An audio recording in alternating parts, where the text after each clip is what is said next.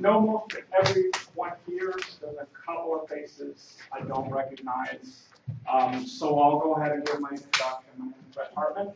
Um, originally trained in both systems ecology and, and, and then moved into geography, uh, but always with a focus on restoration ecology um, and human environment.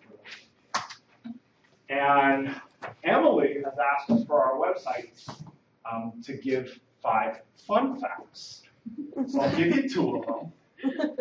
One, I grew up in the Amazon. And so I had the whole Amazon of my backyard as a kid and a whole pack of other kids to play with, so that was awesome. And the other is I play guitar and I've been in three bands. So, um, what I'd like to do today um, is there is a there are a couple of conceptual models um, that are the underpinnings of the restoration ecology field. Um, and as it turns out, one of them in particular is actually incredibly useful for in a management context and to guide decision making uh, for management. Um, and so what I thought I'd do is talk about um, the two conceptual models uh, and then give some case studies that, that illustrate how these models work. Um, and it basically is a systems uh, model, a systems ecology model. Um, and hopefully, you know, I've found it through my career to be an incredibly useful, a very, very useful tool. Um, and hopefully we'll, we can ground it with enough examples so that the, the lecture will be useful to, to sort of um, change your thinking, hopefully about something. So, um, in terms of the outline, let me get this.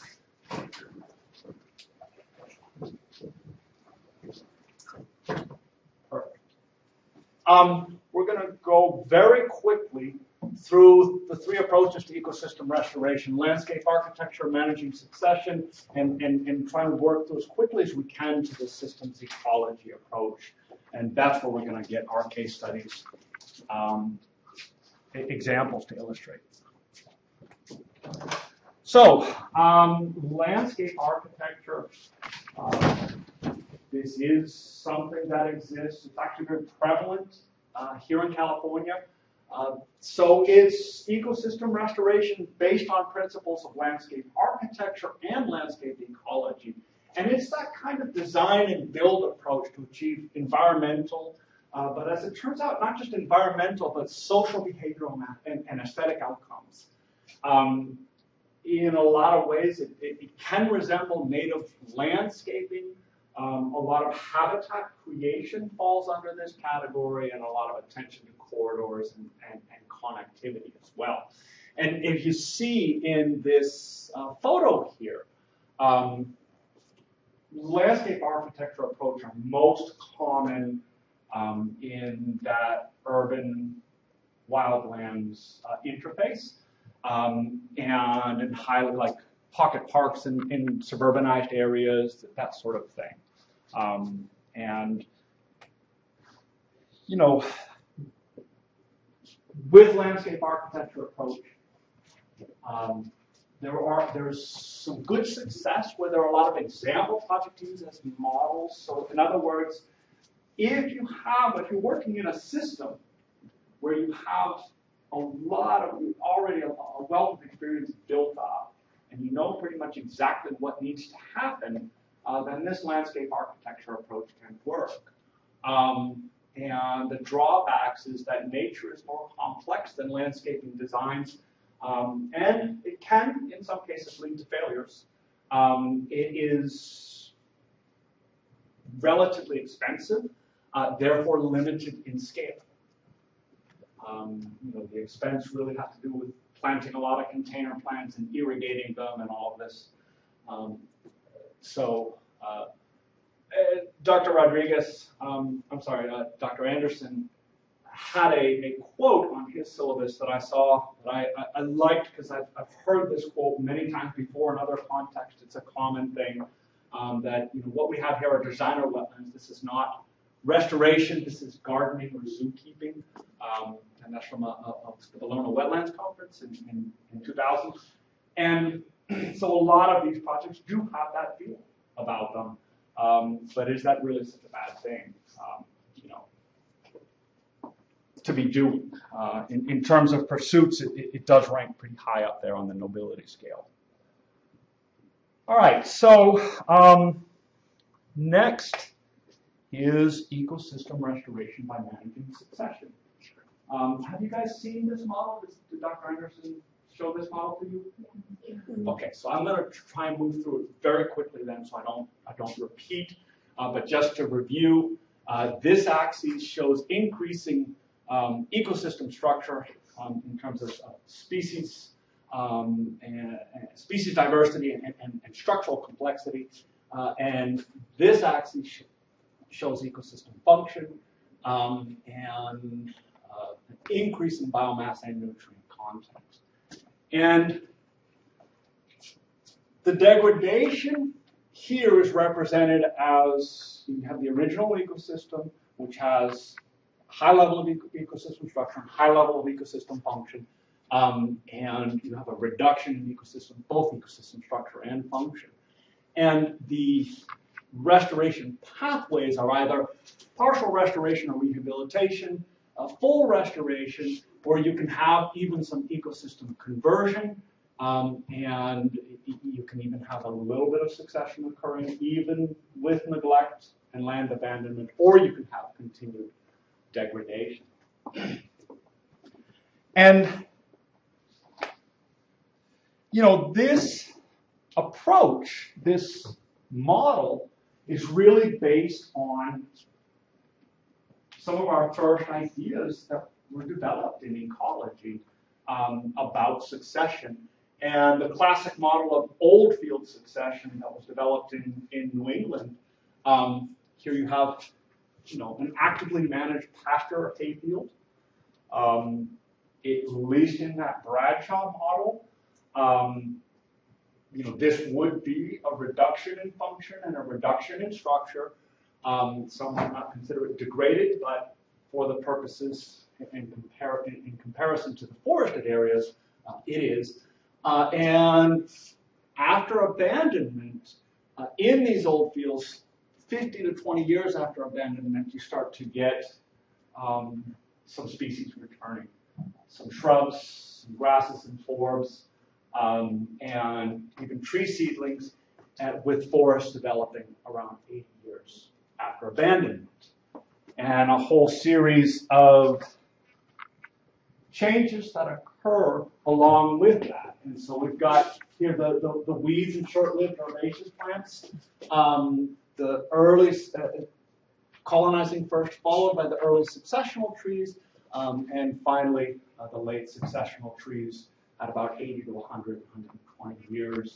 Um, they start um, coming into dominance and increasing biomass, increasing diversity, reaching an asymptote and oscillating thereafter, increasing organic matter, in some cases increasing nutrient content. Some nutrients actually will decrease over time, uh, but a series of changes that occur uh, along with succession.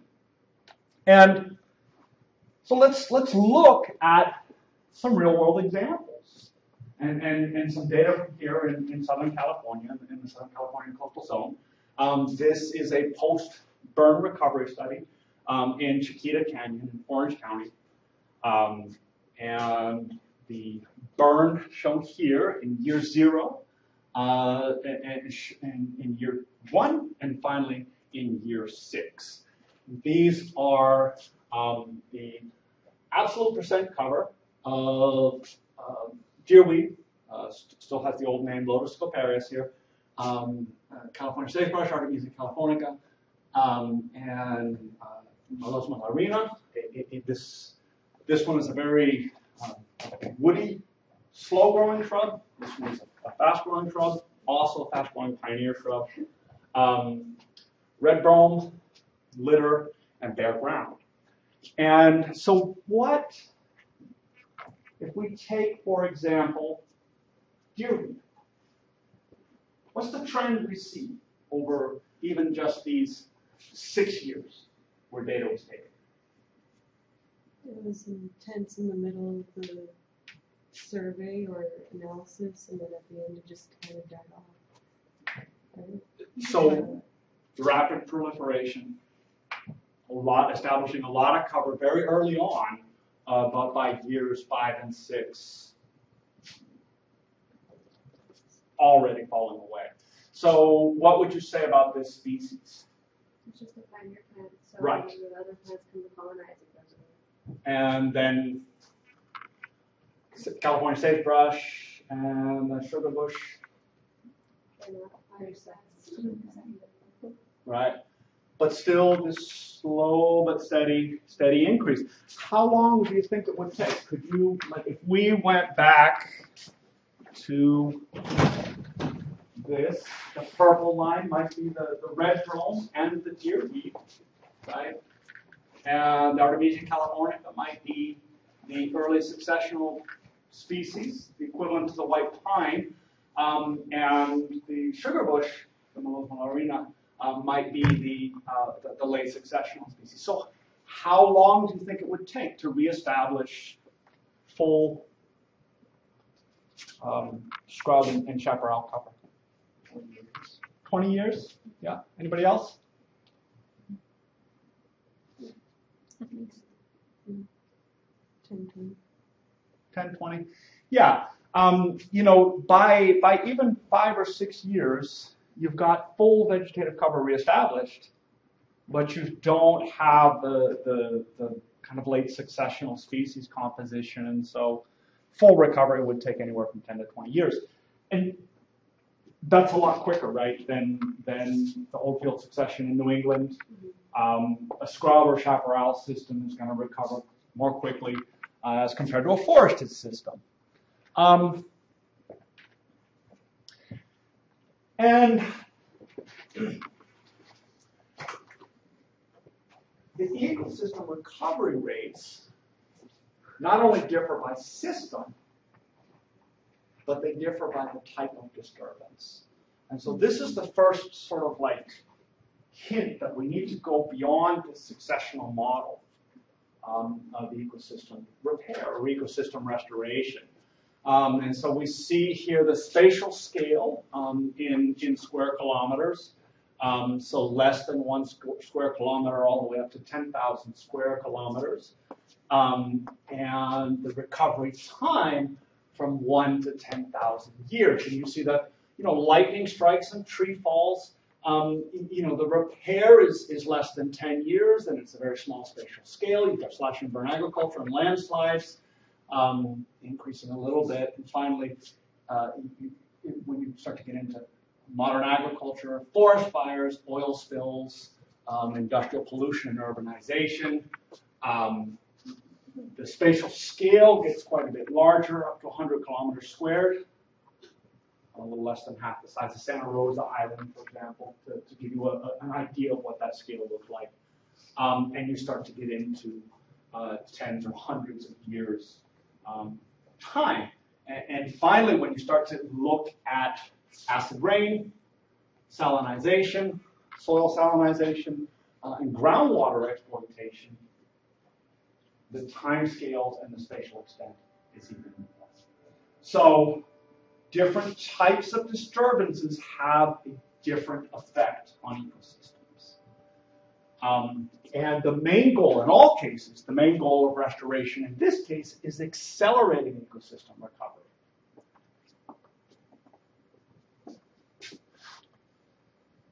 And what can we do to harness succession, to use, to, to use natural successional processes to promote ecosystem repair? This here um, is some studies uh, from Costa Rica, Dan Janzen, um, and the Amazon uh, with Christopher Uhl. Um, this figure showing the distance from the field edge in meters and the seed range, the species density, um, and showing that uh, with distance from the forest edge into old fields, um, seed rain from birds and mammals is less. Um, and uh, some of the work from Christopher Uhl showed that not only is seed rain less, um, but seed predation is higher. And so there's really a lot of barriers to establishing um, forests and old fields in, in the tropics in Central America and, and, and in the Amazon. Um, and there's other barriers that are not shown in these diagrams.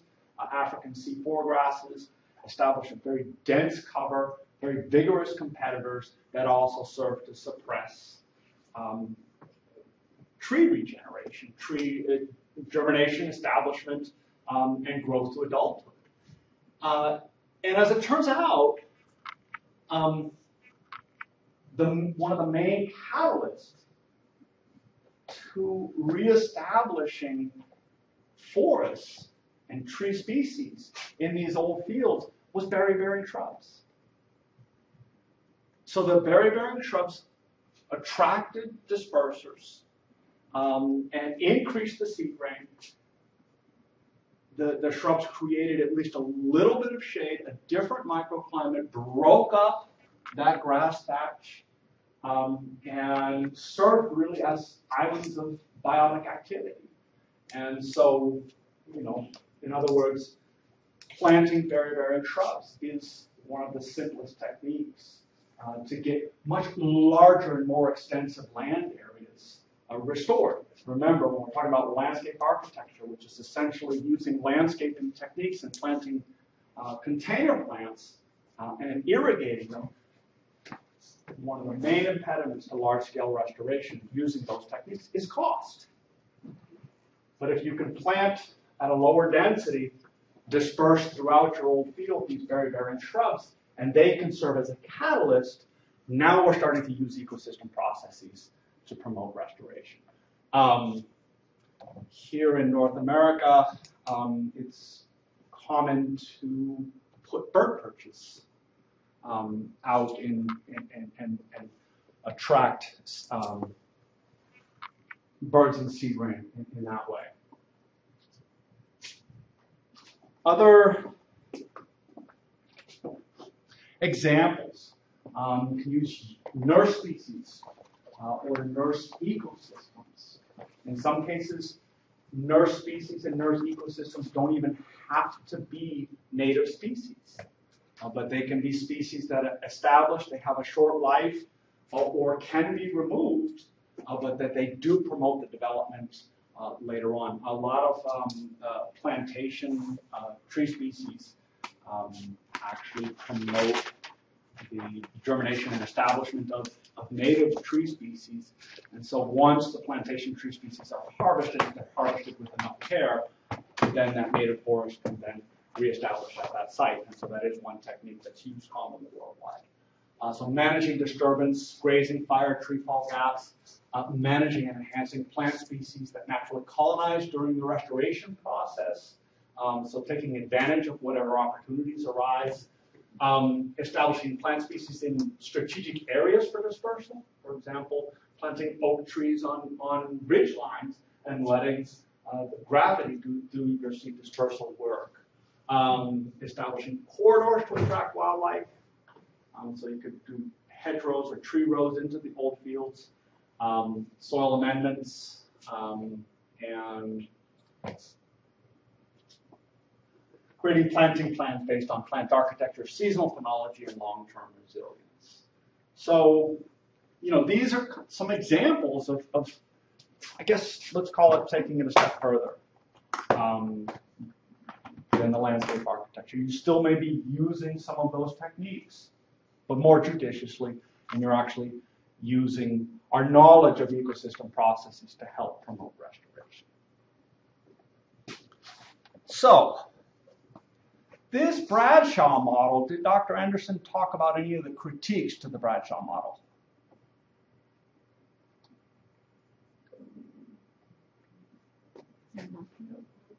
Did not. And by the way, I'll give him the slides so you don't have to worry about giving yourself carpal tunnel and. um, so uh, there, there, this, that model, and let's, let's toggle back before I talk about the critiques. Let's toggle back and, and, and we can take another look at that model. Very linear, right? And it's kind of, I mean, even, even, you know, when it came out, it was just really very helpful to a lot of people to help talk to other people and to help conceptualize what we're trying to achieve uh, with ecosystem restoration. But, um, you know, the, the linearity of this model and the, the, the fact that we have an original ecosystem or a native ecosystem, um, and then it gets impacted, and then it bounces right back to that original ecosystem. And in some cases, doesn't bounce back all the way, but bounce, bounces back partway. Um, that's the rub or the, the, uh, of the criticisms of the Bradshaw model. And it is represented um, in various ways. Um, the most common way of um, expressing the non, potential non-linearities in um, is through this ball and cup analogy. So that succession was always conceived as a linear process, a return to the original or climax state. But now we're starting to consider and actually gather evidence for alternative stable states in ecosystems. And that's why the ball and cup analogy. Uh, you can think of it, the, the, the, the, the ball, if, a, if the ball is in one of two alternate troughs, um, then those are the two alternate stable states. And we'll give some examples of these in a little bit so you can understand what I, what I, what I mean by an alternate stable state. Um, and it, it, it, does take some energy um, for the ball to move from one stable state to another. And so a lot of that energy comes in the form of ecosystem degradation, right? The impacts to ecosystems. Um, and it can happen that it requires an enormous amount of energy to return ecosystems to the original state. um, and, and in some cases, it may be impossible to return it to that original state. And you know, this kind of showing another look same thing, um, you know, showing the, the, the starting state and the energy needed to put it into this other cup. This is just analogy, of course, and, and, and the, the reverse um, being more difficult than successional models might suggest. Now, this is a modification of the Bradshaw model. And so you see, you've got the structure, the biomass and species diversity, you've got the function and, product, and productivity here, right? Still the same axes. You still got the original ecosystem, the degraded ecosystem, uh, but now it's, you know, something we worked up in MATLAB uh, to create this surface to just represent um, the cups and, and, potentially where the ball can go. So in degradation, um, you can actually, there is the potential to have arrested succession. Uh, so that succession does not occur to the original system. It stays in this, um, this ball. It can potentially return to the original ecosystem, or you can have uh, ecosystem conversion um, and creation of an alternate stable state. And often these alternate stable states may not have been observed in nature before, and there's the potential for novel ecosystems. Um, or if they have been observed, uh, you see them uh, flip-flopping back and forth um, between the, the, the, two alternate stable states much more rapidly than you would have seen before. Um, so what are some examples? So let's ground this a little bit. Um, here in California, conversion of California native bunchgrass grasslands to European annual grasslands. Right? So, what's going on with, does anybody know what, what is happening with, in comparison with the perennial bunch grasses and the uh, non-native annual grasses. What's the main differences between the two?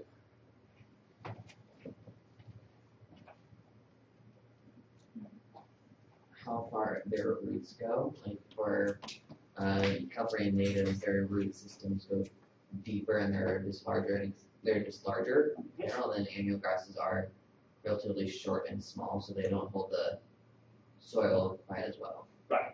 And, and it has ramifications for phenology. The perennial bunch grasses will stay somewhat green through August and September, whereas the annual grasses will die off. A- Any other, any other differences between annual grasses and perennial bunch grasses?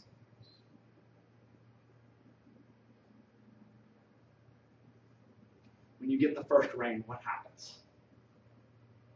Every fall. The, the native plants just green up immediately because they don't get a whole lot of water here generally, as opposed to the annual grasses. It takes a little bit longer for them to green because they're used to consistent, ra- more consistent rain and flooding also. So it's actually it's a little bit in, in, in reverse. So when you have the first rain, if you go out onto the hillsides, and it, it has to be a decent rain, it can't be just a little sprinkle. But the first rain, you go out and you see all the little grasses and forbs, the non-native grasses and forbs, almost immediately germinating. Mm-hmm.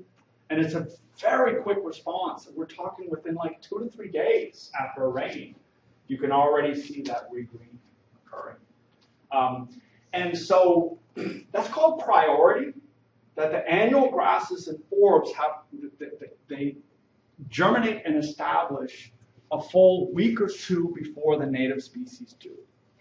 And that turns out to be very important and a, one of the main reasons why they are so successful in outcompeting native species. Other things that happen, um, thatch starts to grow up and, and develop a, a, a lot more um, than with the perennial bunch grasses. Um, increased risk of fire. And so all of these changes um, really have the effect of making the European annual grassland system stable over time. And in fact, it's enormously difficult to establish California native grasslands. There's a lot of time, energy, and resources to do so. Um, and it takes a very intense level of management um, to flip that system from the European annual grass grassland back to the to the perennial bunch grass, the native perennial bunch grasses. So, how about Dr. Anderson? I know has a has a fondness for aquatic systems. Uh, so, how about the clear to turbid and eutrophic conditions in lakes? That's considered a classic example of, um, uh, and, and, and even can switch back and forth within a season. Um, you can see that switch from clear to turbid some years, but not in every year. Um, and so these are two alternate stable states. And so this would be an example of even if you have seen this clear to turbid transition in nature before, uh, now with nutrient loading um, and eutrophication, um, you're seeing that flip occurring more frequently. And perhaps the, the period at which it becomes turbid and is in that turbid state is longer, or may even, in fact, in some cases, become permanent. Also, rapid transition in marine systems, so seaweed and mussel beds um, uh, to kelp forest barrens. Um, so, so um, the, the, the kelp forest can become barrens after being heavily grazed by, by urchins. Um, and so that those, those are two alternate stable states uh, for that system. And we already talked about the tropical deforestation and invasion by African C4 grasses. Um, and um, it can either become this. This one is interesting uh, because the more you get into the tropics, the more you can actually have not just two alternate stable states, but you can have more than two. Um, and so in these uh, following trop- tropical deforestation and invasion by African C4 grasses, um, it's, it's, it's actually not invasion, it's more it's purposely planted for pasture land. Um, forest succession can be arrested, and, and, and that grassland system can remain stable, uh, or it, succession can occur, but it, it becomes a low-growing, thorny vine type system that's impenetrable, difficult to walk through, um, even with a machete, um, and uh, unproductive for humans uh, and, and, and largely for biodiversity. And so that, in that case, three alternate stable states. Um, so, um, this, all of these would indicate that there's been a system level change. And so that's what leads us to this systems ecology approach to restoration. Um, that's, the, that's the background theory that helped bring this, this, this systems focus um, to the forefront, really. Um, so before I continue on, any questions or comments? Yes. When you're seeing uh, an arrested state, a succession, so I guess where it's just partially succeeded, like it from the disturbed state, so like it's like for the seaweed instead of having a giant kelp forest, having just like a small kelp forest. Yes. So I think the best way to arrested succession would probably be in the Bradshaw model be represented by this. So what you're saying that there is some partial succession occurring, but it just after one just stays there. And with California annual grasslands, the, the, the European annual grasslands, um, the same. You, you, you will see some succession occurring, um, but uh, but it does stop at a certain point or, or, or slows down to a, a, rate that is difficult for us to observe because it's beyond the human lifespan. You had a, oh. any other questions or comments?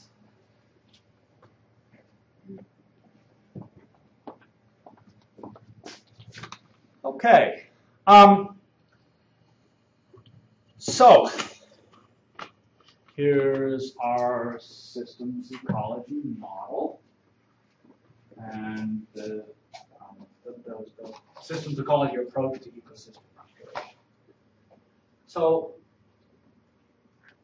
what's shown here is it's a diagram, but it's no different than what you learned in middle school right? You saw the cartoons and or the, the, the, drawings in middle, middle school, and you saw that the sun, which is the energy source, um, and the plants um, and photosynthesis, the plants either um, incorporated into soil organic matter uh, and, and, nutrients, uh, or being consumed by consumers, um, and you've got that uh, the, the cycling of those materials, and you've even got throughputs in this case of nutrients and water.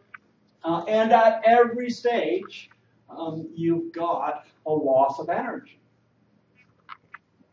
And so taking this most basic model of ecosystems, um, we can look at where, remember back at that, at that graph that we saw the different time scales and the different spatial scales of different types of disturbances. So relate that in your mind's eye, relate that to this, uh, where we've got some stressors, in this case stressor one, impacting the energy sources. And we're not talking just the sun, right? Tides, you guys just had a, a question on, on tides, uh, river flows, wind, um, all of these are energy sources. And, and so stressors that impact the energy sources, uh, stressors, uh, stressor number two would impact the ability of the system, of plants in particular, to process that energy. So think of that as impacts to system metabolism. If you were to put that in human terms, you've got a serious gastrointestinal disorder. No matter how much you eat, you cannot absorb those that energy and nutrients at optimal rates. So that's this type of stressor.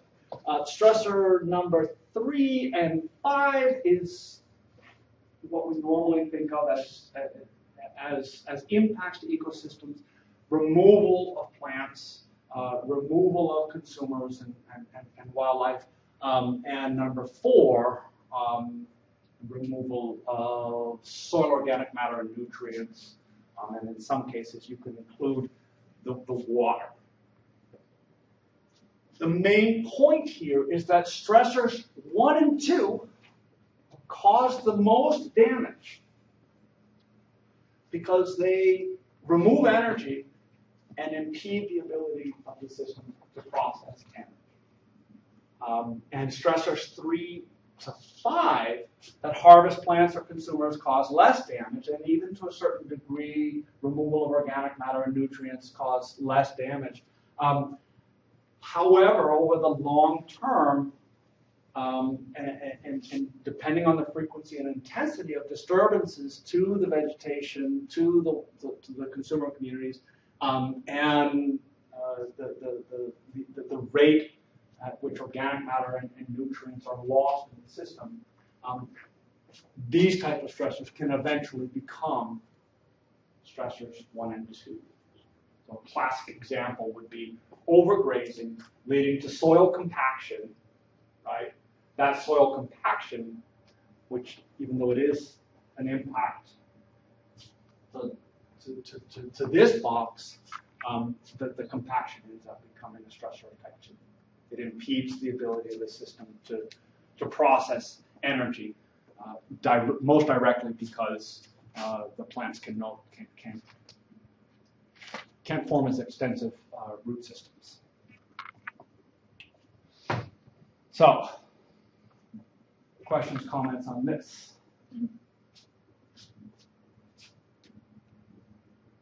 Clear, intuitive?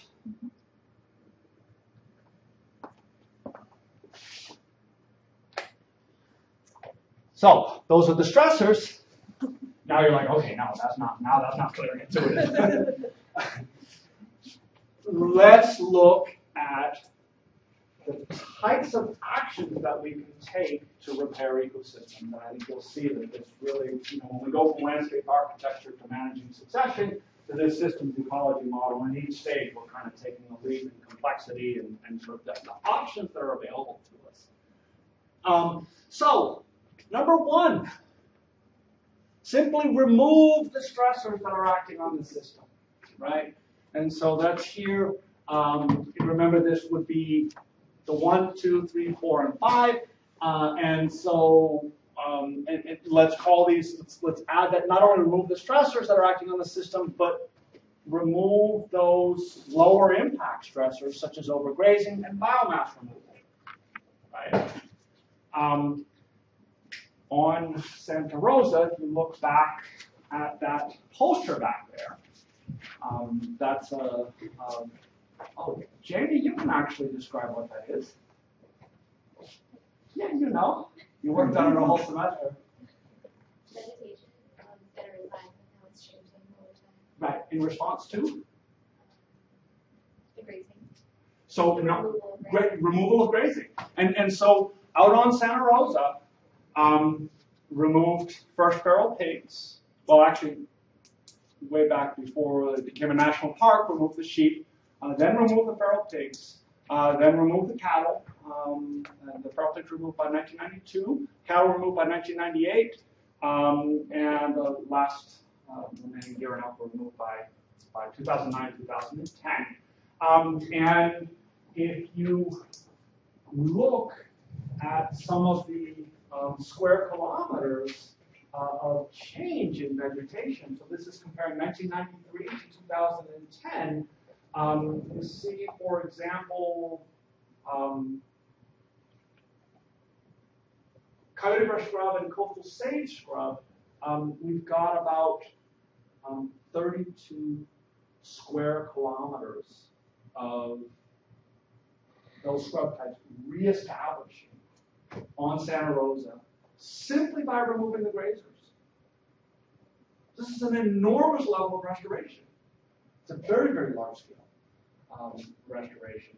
And you've got a reduction in the valley of grasslands um, and a, a less dramatic increase in chaparral and, and woodlands and other woodland types.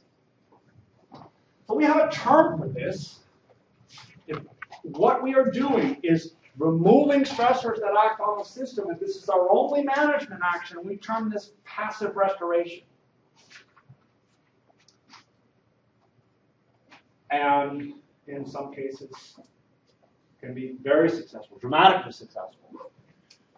The second um, management action is adding species or materials. So what do we mean by materials? Mostly it's nutrients, organic matter, some type of soil amendment. Um, could be soils themselves. Um, uh, could be soil microfauna, planting plants, reintroducing wildlife. Um, and, and, so that's everything that's involved in adding species or material. And so in a lot of ways, this is kind of our landscape. It can be a lot of your classic landscape architecture techniques, right? Number three starts to get a little more complicated. So, Jayla, what does that say, number three? Regulating speed of system processes, so reversing soil compaction. So what would be another example?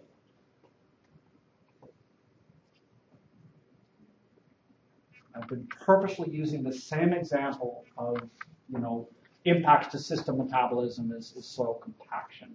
What would be another way that system metabolism would be impacted? So the How ability much of the, sun? huh? How much sunlight is it in? How much sunlight? Actually, interesting you mentioned that because we will get to that. That there, there is a, actually a restoration technique that, that uses that. Um, but that would be energy source. What, what's something else that might impact? And just think of, of, of something concrete that would impact plants' ability to process the sun's energy, to convert CO2 to sugars. How much, um, like trees, like shade versus open fields? Trees and shade would also fall under the energy. Think in terms like run through in your mind all the stuff you've learned in all your classes about environmental degradation, environmental impacts. Mm-hmm. Maybe thinking- like the slash and burn. Would that be?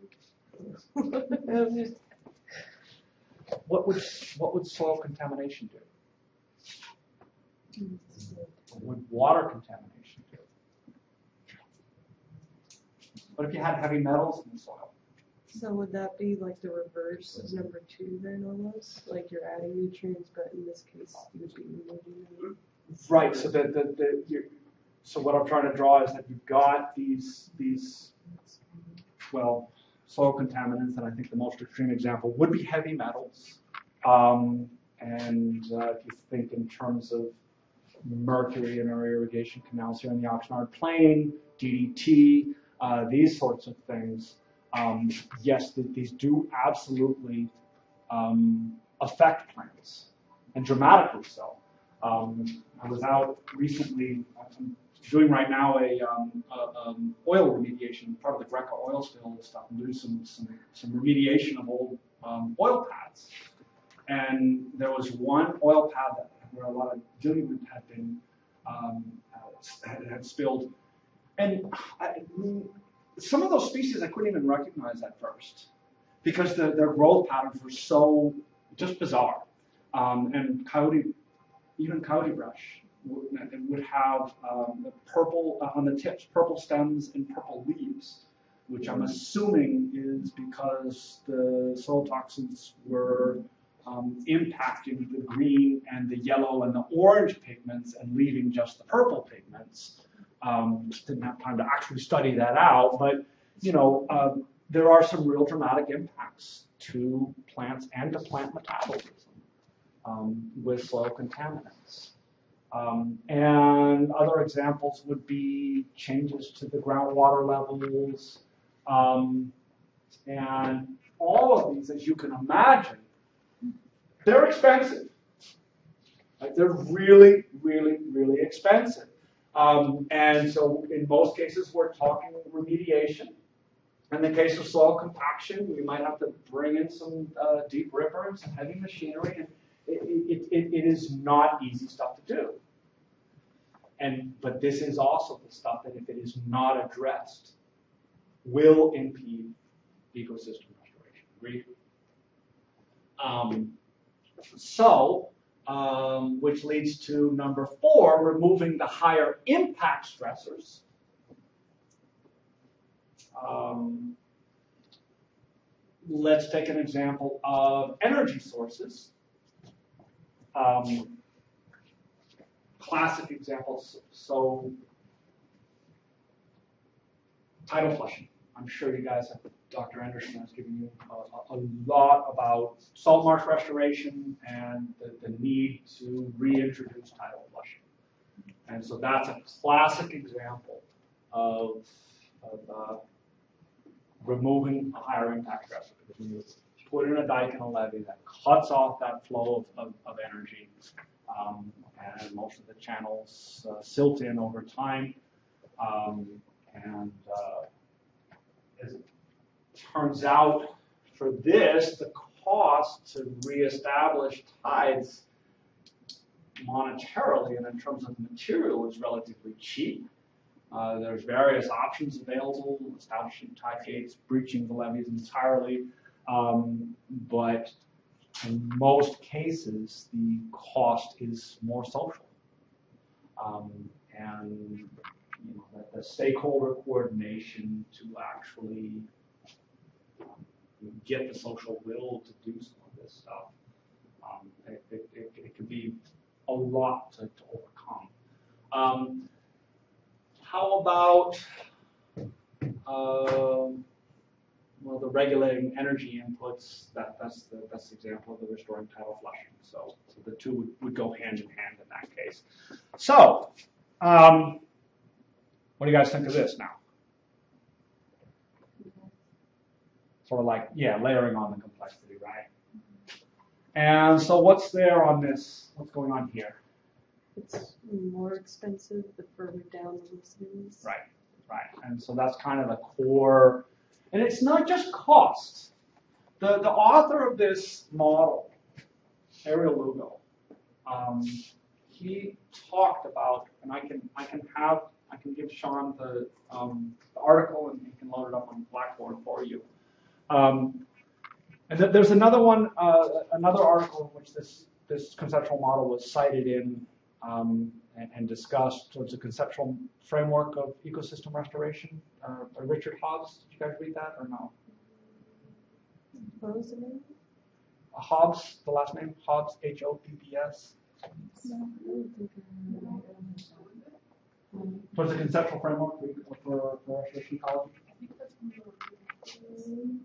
I, I, I would think so because it's like it's been cited like 900 times, you know. Um, and, and, and so, you know, he reviewed both the Bradshaw model and this model and, and, and kind of back in the mid 90s synthesized a lot of this stuff. He just happened to be the type of person who has consistently throughout his career been very adept at synthesizing a lot of stuff in a way that's manageable and understandable, and understandable and, and intuitive to a broad audience. And so he ended up being very successful in his career because of that. Um, but Ariel Lugo talked, the, the original author of this, of this model, he talked about the tax that has to be paid for ecosystem degradation. And he said that tax needs to be paid in time, it needs to be paid in money, or it needs to be paid in, in natural resources and inputs of natural resources, or any combination of the three. Um, but he said, like death and real taxes, they cannot be avoided. they must they, they, they must be faced. And I would add um, that there is also, um, you know, as it turns out, we're as we're going through and doing these restoration projects, we're noticing that there is a, a, a fourth type of cost, and that is that social cost. um, because people, societies do respond to land degradation. It does cause stress on societies, and there is an enormous amount of, of, of social mobilization and coordination that's required. Um, and so that's another um, uh, tax, if you will, uh, restoration tax, let's call it. Um, and so it's not just cost, but it's the, the that it's it's the social mobilization, the resources, the time, all of the above that increases from one to five. And you can even think of it in terms of, of, of, of, of a dichotomy, so that one and two are relatively simple, uh, but three, four, and five are enormously complex and expensive. And the same here. One and two cause the most damage to ecosystems, and three, four, and five um, cause less damage. And again, as I mentioned, I'm going to toggle back to this. You know, you can refer back to you know these types of stressors, you know, to help help you digest a little bit this model. So, I want to go through two quick examples, um, and then I want to give you guys a break, um, and then we're going to come back and, and, go part by part and seeing some, some more case study examples of how this plays out. So, I thought first and foremost, let me give you an example of salt marshes, uh, San Francisco Bay. Um, almost all the other examples are, are not salt marshes. So. anyways, uh, so this was in the Hayward Regional Shoreline. So it was a diked marsh with no tidal flushing. Um, at, at one time in the past, um, uh, some culverts had been installed in the levees, uh, but they had silted in entirely. Um, and so when this project started, it was effectively um, effectively zero tidal flushing it was just a, just a minuscule amount of tidal flushing. Um, and all the tidal channels, and this is a, this is, shows a really big borrow pit that was actually a, a, a large channel that was uh, where, where all the materials for the levee was was, was dredged out. Um, and that shows really dramatically that siltation that can occur. Um, and so this was known habitat for the salt marsh have harvest mouse, and, and, and, this is one of the main reasons why this this um, project was being done. It's about 74 acres of, of salt marsh in San Francisco Bay. So quite a large project for the San Francisco Bay. Um, and with that diking also came a loss of organic matter. I'm sure you guys have, have gotten a lot of information about you know, the subsidence and, and, and that can occur. Um, and, and, also, as it turns out, a loss of soil salinity. Um, when you don't have that influx of seawater, you've got that, that continual rainfall.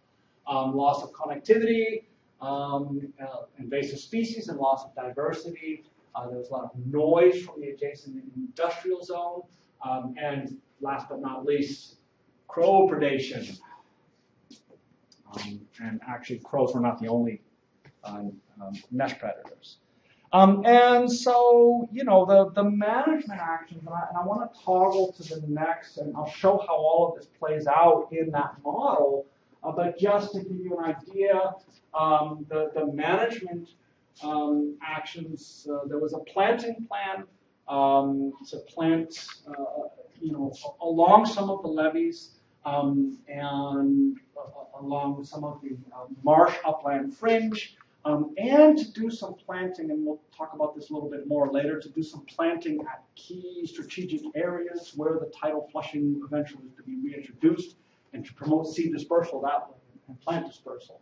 Um, in some cases, some levee reduction um, and levee removal, dredging the channels, um, and, and not only dredging the, the larger borrow pit, uh, but dredging these remnant channels um, that were still visible, um, in, installing tide, gates, and in the surrounding area doing uh, crow perch control. Um, so, this is how you can diagram out the stressors. And when you're first starting out in doing ecosystem restoration, it's really useful to actually sit down and do this for your system for the first three, four, five, even 10 goes. After a while, it becomes innate. Your brain already is used to analyzing systems, going to a site, doing a literature review, and you're already thinking in this way. And it ends up becoming very, very powerful. Um, so the levees and dikes had cut off the wave energy. That's an impact to the energy sources. Uh, the noise was a, a, new energy input.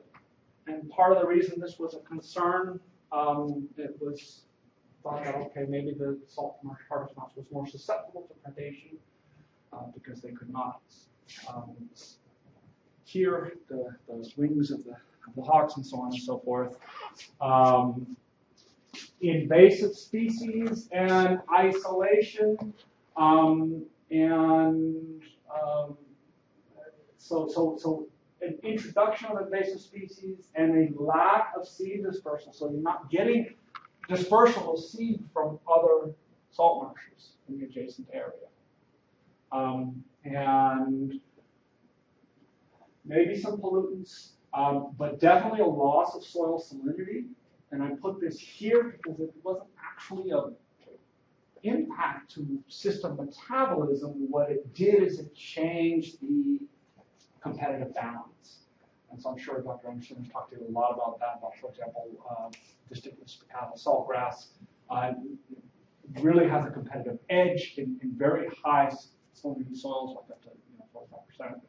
Um, and um, pickleweed, the, the same. Um, and that competitive edge is lost over time as the salinity decreases in the soil. Um, and so, uh, you know, a shift in species composition. And so that's what actually promoted a lot of these, like, full-on just European annual grass species in that marsh upland fringe where they normally would not have been able to survive so well. They were now dominating, and the salt grass and pickleweed was, was, was had very sparse cover. Um, and so loss of habitat for the salt marsh harvest mouse and crow predation um, impacts the consumer community. Um, oh, and by the way, the loss of soil salinity is shown represented here as well. Now, how about the management actions? Let me toggle back so you can see what's going on there. I just put in all the blue in, in light blue, and you see that not every one of these impacts were addressed.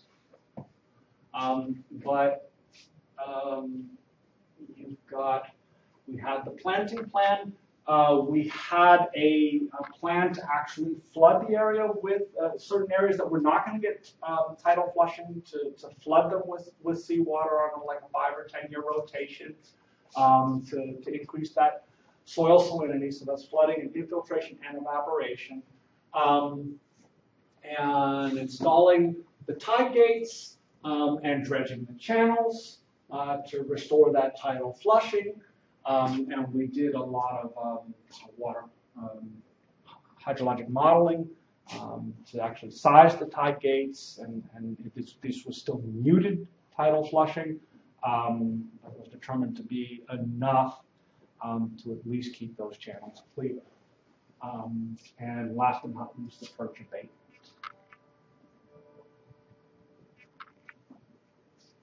What do you think?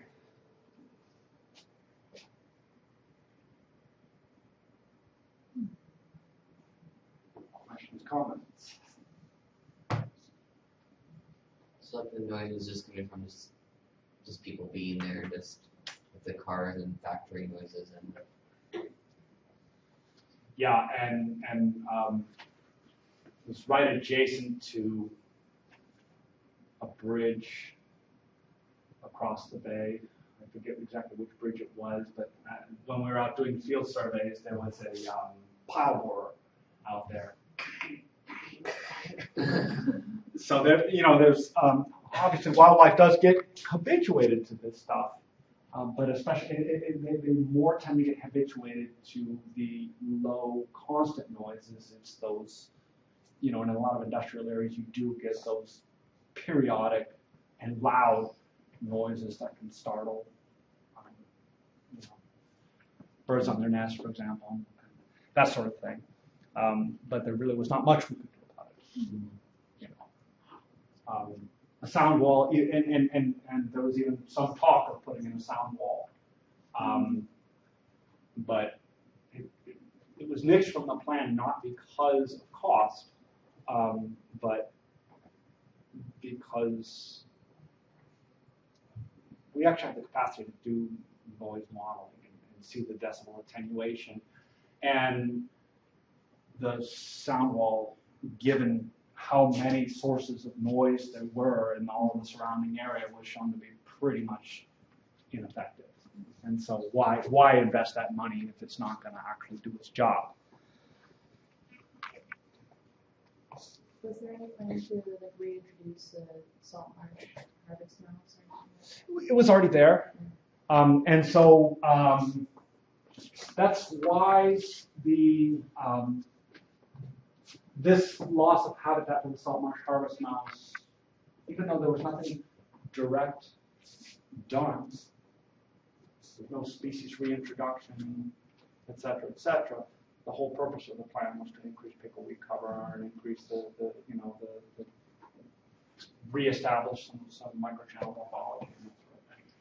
Um, and kind of a nice illustration of how, you know, even though that was the primary objective of the, of the plan, nothing directly was done to the supplement mounts. It was really all at, at a systems level. Any other questions, comments? Okay.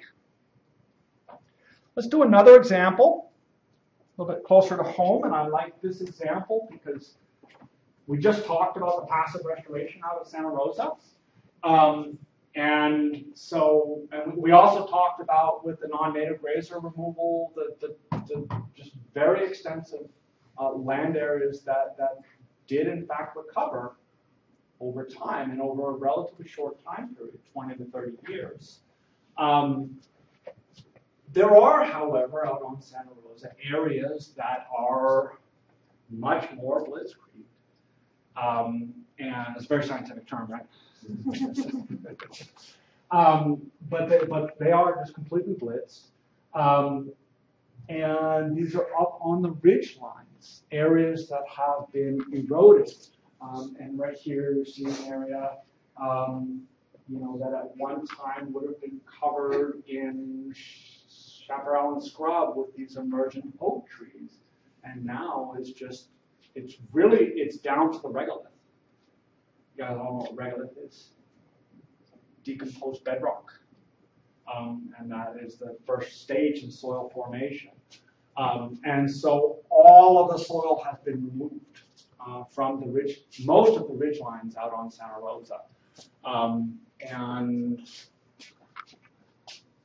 um, you can even see, you barely can make out cause there under that, that island oak tree.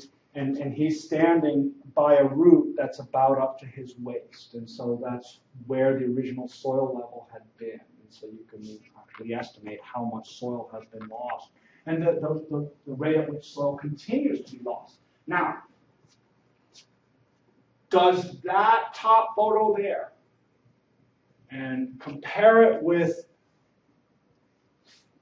what we do see on some ridge lines out on Santa Rosa Island to this day, where you have a mixture of, of island oak, the Quercus tomentella, and scrub oak uh, that helps promote fog drip. Um, and so it's a, not precipitation, but it is a, a, a, source of soil moisture, and it actually is, is quite a lot. Um, and does that top photo, what does that look like to you guys? Using the terms that we have, rather than telling you, let me ask you, using the terms we've covered so far in lecture, What does that look like? What type of stressor? Um, what's the, what, number one? uh, light stressor, yes, and energy. There you go. So a dramatic increase in in um, in light and therefore soil temperature mostly. Um, what else? It's in a deg- degraded state, so it's probably it's also probably an altered state as well. So it, it, it would be an alternate stable state, and left over time, who knows what's going to happen there? Is it going to, and, and I really mean this, who knows? Um, that is a, still an open research question. What's going to happen over time? Um, are grasses and forbs going to slowly but surely colonize the area and start to stabilize? And is soil formation going to, to, to begin? And, and in 100 and 200 years, we're going to start to see shrubs colonize there. And, and maybe in 300 years, 400 years, we've got some oak trees there. Or uh, is this area just going to continue to erode? Yes. Is there a plan to do, um, artificial fog factored in, or is it fog? There is, and so we'll, we'll get to that in a little bit. Um, so, yeah, impacts of type 1 and type 2, right? Because remember, soil compaction was an example of, of impact to system metabolism, but if you completely remove the soil, it's a much more extreme example. Um, and what about the soil moisture? You've no longer got that soil moisture input. Um, and uh, um, you, you know you don't have the fog drip, you don't have the the, the, the thatch layer anymore, that organic layer. Um, so it's really, I mean, there's a lot that's going on here. Um, and so here's your increased temperature and wind, right? We didn't talk even about that. The winds are quite strong out there. Um, and it's also a source, it just wicks that soil moisture away. Uh, both from the soil and as it turns out, you know, through evapotranspiration from any plants that are planted there. So it's very difficult for anything to establish up there. Um, you've got the erosion, which is an impact of type 2, so that's an impact of the, ability of the system to metabolize that energy, to process that energy. Um, and you've got a loss of soil organic matter and nutrients. You've got uh, reduced fog drip, which also is an impact to the ability of the system to process energy, but also just a, direct impact of these throughputs of water. Um, had non-native grazers, which denuded, um, removed vegetation, um, and removed biomass, even though they, they have been removed. Um, in some cases, outright tree removal, although this apparently was not, maybe with the scrub oak, but the, apparently the ranchers really did value the, the, the Quercus tomentella, and so it's not thought that they actually removed them. Um, um, habitat loss, removal of soil fauna, um, and, and, and this is not even an exhaustive list, right? A wildlife biologist could probably add to this list quite significantly, but can anyone else think of any other stressors?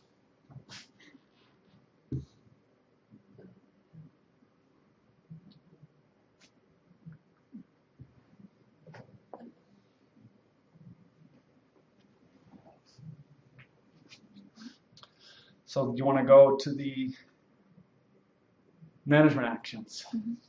Bam-o. we got a lot of work to do out there, right?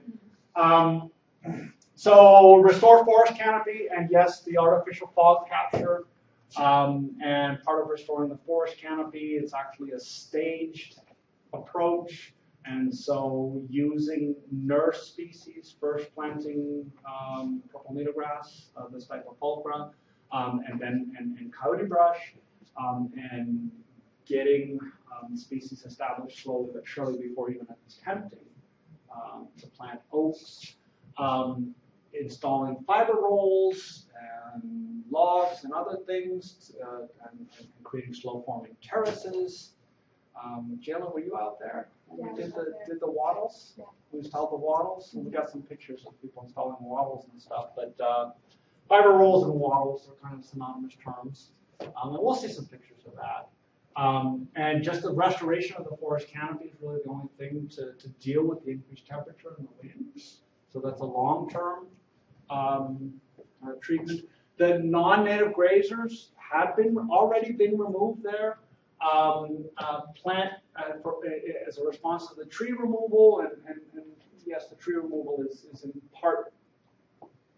It's, it's not necessarily just a response to it's not human inducement that people actually harvested these trees, but they literally washed off the ridge lines um, with the intense grazing.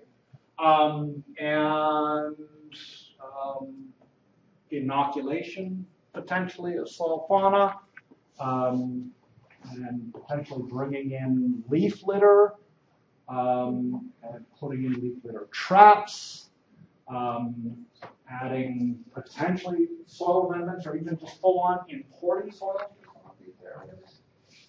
Uh, but really, you know, if you're out on Santa Rosa Island, is it feasible to import soils? Doesn't seem too feasible, does it? Or if it's going to happen, it's going to happen on such a small scale. Um, and so that's why the fiber rolls and the leaf litter traps and all of that, they're designed to um, basically, if you take a look at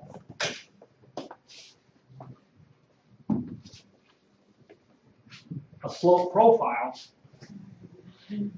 How's admiring that reaction? how, what was that? How's admiring that reaction? Oh. Okay. Oh, Okay. Um, and, and this is the soil surface, this is the slope. Dig a little area out, right? Bury that fiber roll, which is not much more than this thick, right? This, this, this, this much around. Uh, bury that fiber roll, stake it in, and then pile that soil back up here to some degree and down here to, to, to some degree. And so what will end up happening over time is that material that is washed down slope will get trapped behind that fiber roll and slowly but surely you can build up soils.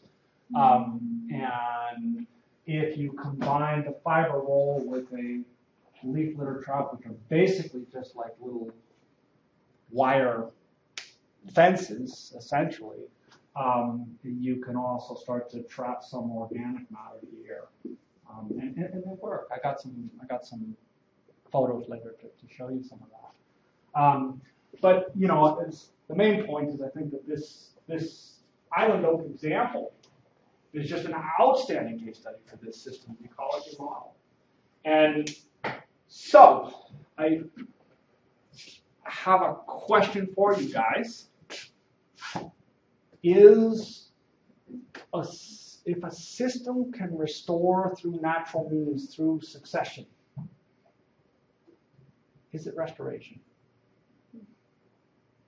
Depends on what Natural. you Do like if you help to start the success, the succession, then it's restoration. But if you just you don't do anything, then it's Makes sense. It's succession. So, so remember that that um, and, and some people have made this argument um, that a lot of what we do to help promote succession or speed it up, I guess if you very significantly speed up that that rate of succession, then yes, you can argue that it is restoration. But the argument has gone that if if the system can restore itself, if just left alone, then anything we're doing out in these areas is not actually restoration, it's revegetation.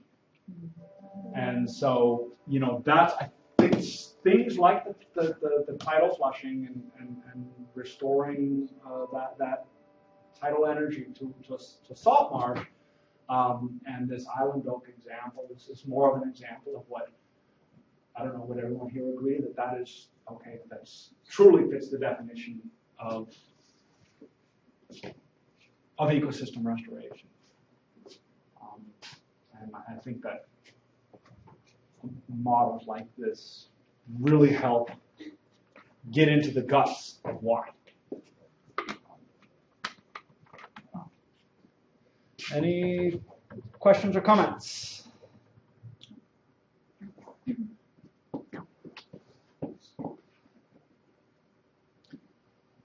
All right, let's take a break.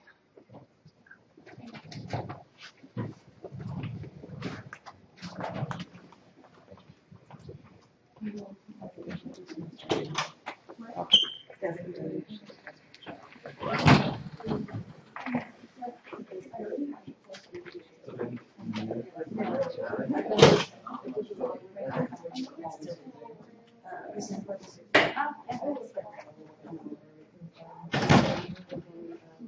there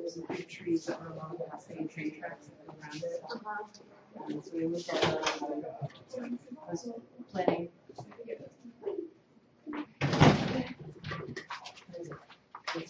It's like, we're It's an acid derivative.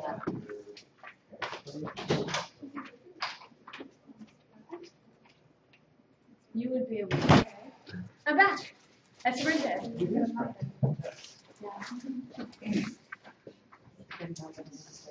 So, maybe let's get started. We're still missing one person. the bathroom. Also, that reaction is false. I'm right, so I'll check it. The reason why why Joe doesn't take half is because it's smart, right? Oh, yeah, smart. Mhm. Or a I mean, whatever. Tomatoes, tomatoes. Yeah. Never like this baby golden, exactly two like opposites overnight and then the baby steps. Like, take that. So, But I'm, I'm gonna put like one step that's wrong. And then. You know, we'll start making the lab die. Speaking. Drunken noodles. Oh my god. You go back. Oh, This is for sure. My mistake. I'm The gonna- sugars are less than one gram. How's that actually possible? Aspartame, is that why? Probably. No, I'm. It's like, it's, it's multiple days ago, so it's like almost like it's that time. yeah. Yeah. I'm cool with that. Well, so is it after that. I'm gonna get one of those. Okay. So let's get started again. And what we're going to do here, we're going to take a look at some case studies. and I'm going to try and breeze through them relatively quickly. I'm not going to go through the diagram for each one. That, that's the main time drag, right? I'm just going to show case study, case study, case study, case study. Um, and on the upper right, you'll see this diagram real small, and you'll see a little red oval, either in energy sources, system metabolism, plants, consumers, or soil organic matter and nutrients, so you can like know. Again, as you saw, these case studies don't, they address multiple parts of the system. So I've just chosen case studies that are exemplify, a really good example of, of, of manipulating energy resources, really good example of system metabolism, real good example of re-veg, uh, that sort of thing. All right. So, uh, wind energy and dune restoration. Very important for our neck of the woods, right?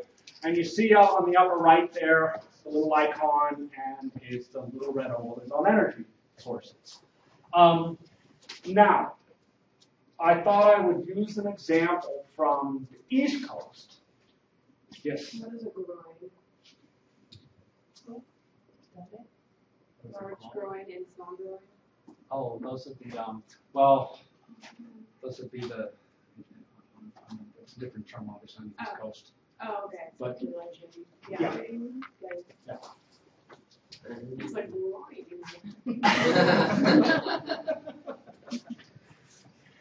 This is still a G-rated classroom. I, I, yeah, G for GIS, right? I do try and keep things G-rated as I can. Um, but uh, yeah, it's nice to see things from the East Coast. Very similar process, uh, right out, out of Port Hueneme. There's in, in, in some, some other areas, right in our neck of the woods. There's there's some example of, of restoration.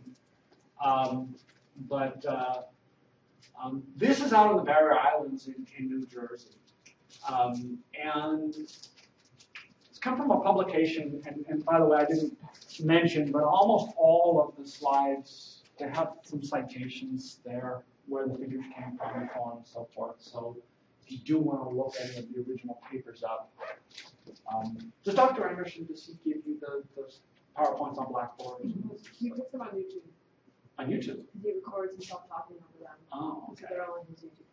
Okay. Sounds good. Um,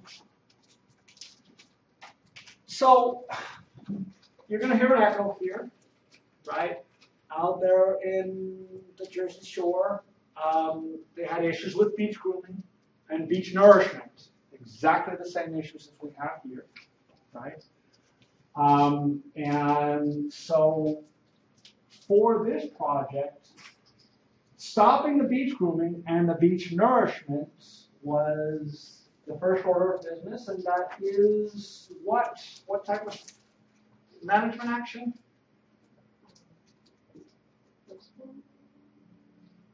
That's for the soil organic. So let's toggle back to this. Ah, Yes. um, Wow, yeah, one. Yeah. Yeah. Yeah. Yeah.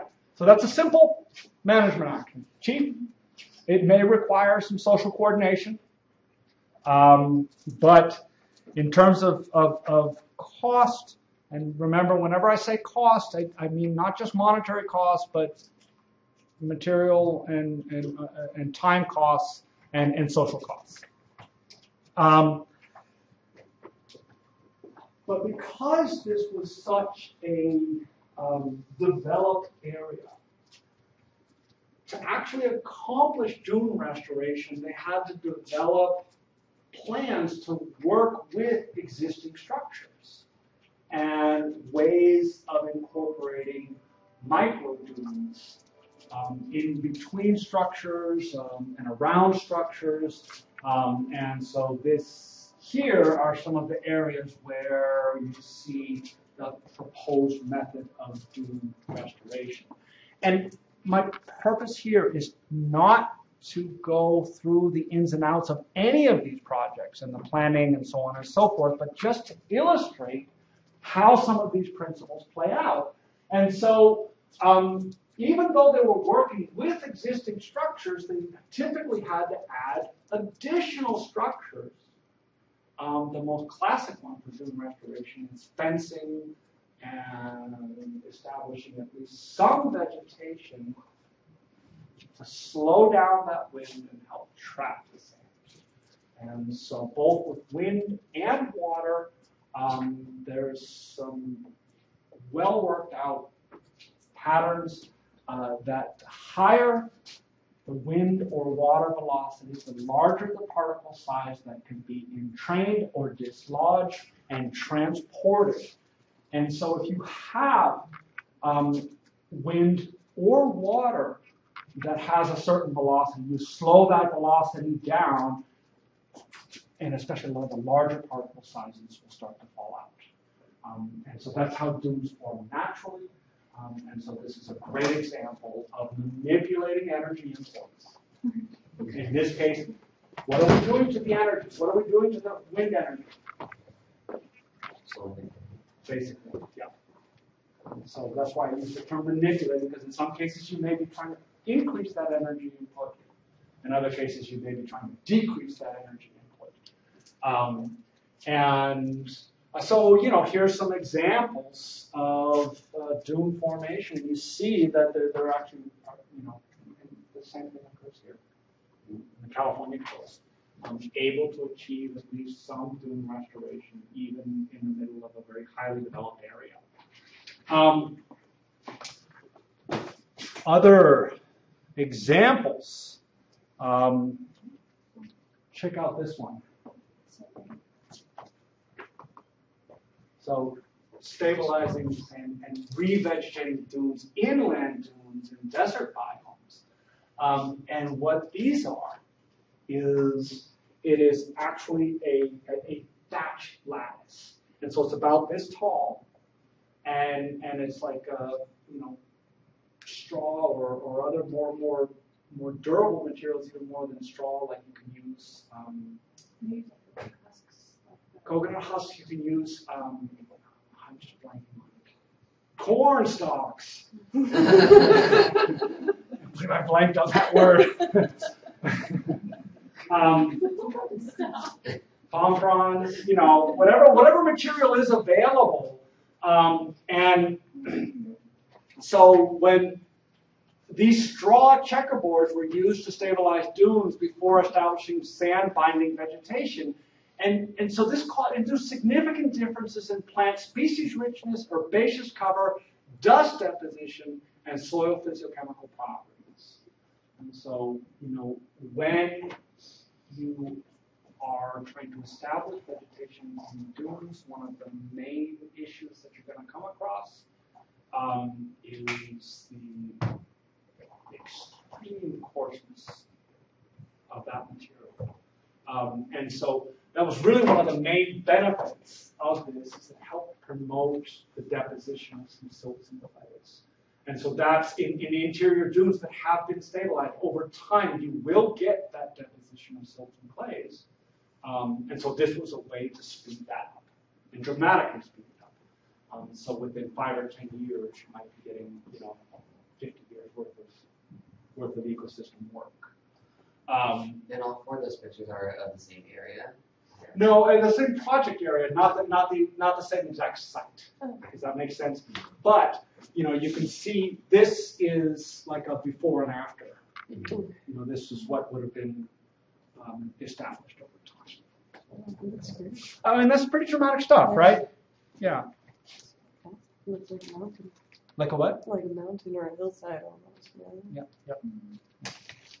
And, um, and extensive too, right? So using these techniques, it's not, if you're using ecosystem processes, then you can, you can cover a larger land area typically because it's not as expensive as the landscape architecture approach. All right, um, somebody had mentioned shading. Has anybody seen this at work? Anybody gone down to the beach and seen this black tarp covering the ice plant in dunes? So as you all know, right, assuming most of you know, but the ice plants is, is just, yeah, it's easy. we, we can say it, yeah, yeah. And, and that's, that's good, yeah. Um, um, yeah, it, it's it's hard to remove. It's hard to pull out. It's very resistant to herbicides, um, and so it takes an enormous amount of effort. And and even given that enormous amount of effort, typically it bounces back. If you're successful at removing it, it's it's only really a partial removal, and within four or five years, you've got you know ice plant reestablished. Well, one of the best methods identified is solarization. Um, and so here is showing an ice plant stand, um, and this is um, on the UC Santa Barbara campus, an example of uh, solarization, which is, what is that? Use of sun. Activate weight Sun cycle. away. Taking the sun away, and you know by using that black tarp, what else happens under that black tarp? It gets hot. Um, So ice plant. It is really effective. It is very effective. And, and so you can, and you can come back in after that solarization, um, and it takes a season, in some cases two seasons, for this to, to, to, to, to get the dye off. Um, and then you can plant, um, whether it's coastal bluff scrub species or, or what have you. Um, or if it's dune species, um, uh, you, you can come in after that and, and plant them. And so, you know, this is a really, I think, also a great example of manipulating energy. Um, and it, you know, it, it, there's a high material cost here, right?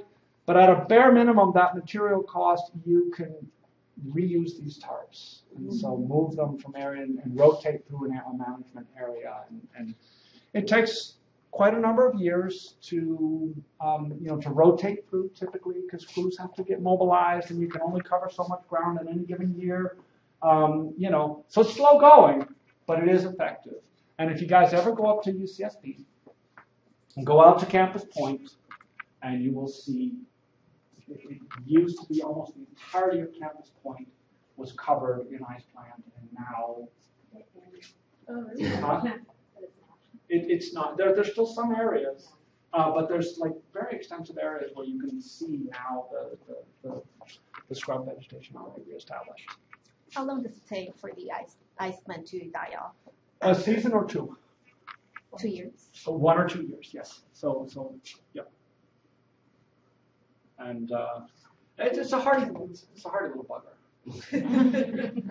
It can survive a long time under those tarps. And, and typically what happens is that mostly it's in one, one season, one year. But uh, sometimes what happens is you still, in, in one year, you get enough scragglers left over. Um. And then, yeah, and then they can just reestablish. So, all right. Um, so good examples of energy inputs, right? How about impacts to um, system metabolism? Here we have, uh, this is a paper um, actually um, from Patagonia. Ooh, right? But they used an NRCS model. They tested an NRCS, uh, Natural Resource Conservation Service model of uh, soil degradation. And it turned out to be just a really just elegant, elegant, elegant paper. Um, and I think that this diagram really nicely illustrates um, what's occurring. And anything in the Andes, very relatable to California. Very relatable. Um, so, um, uh, I guess with the exception of lower elevations, cloud forests and, the, you know, Montes, it's called the, the, the vertical plateau of Andes, you know, you're getting into higher rainfall tropical. I'm, I'm talking about mid elevations uh, to higher elevations. So, um, here you have a, perennial grass um, system. And so if you want to ever get an idea as to what the California native grasslands looked like at one point, go down to the highland Andes in Ecuador, or Bolivia, or in Chile, or in Colombia, and you'll get an idea. Um, and you have here the grass steppe uh, with the a well-developed A horizon um, and, and the, the B horizon below that.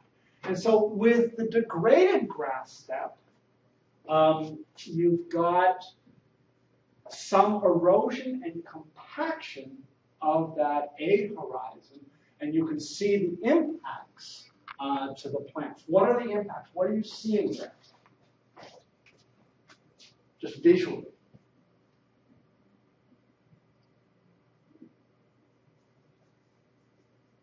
Compare this to this.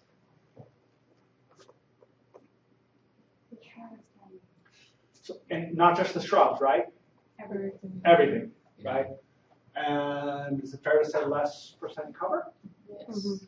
Um, and also you can see um, some additional species in there. In some cases, you might see these diagrammed out as, as a reduction in species diversity, but often in rangeland you actually get as unwanted and undesirable species. Um, and so that's where you've got, you know, your grass steppe to a degraded grass steppe or a satisfactory plant community that is healthy uh, becoming an unsatisfactory plant community that is at risk. These two left to rest, remove grazers, um, and you can get a return to the grass steppe over time. With increased um, degradation, uh, you've got um, a- a- an even more reduced and impacted um, A horizon. Uh, you see you've got some now um, gravel on, on the soil surface, um, and uh, now you've got an unhealthy system that is in a new stable state that cannot recover back to that previous state. Why? what would be, in, in, in that systems ecology term, what would be impeding the recovery to even a degraded grass bed?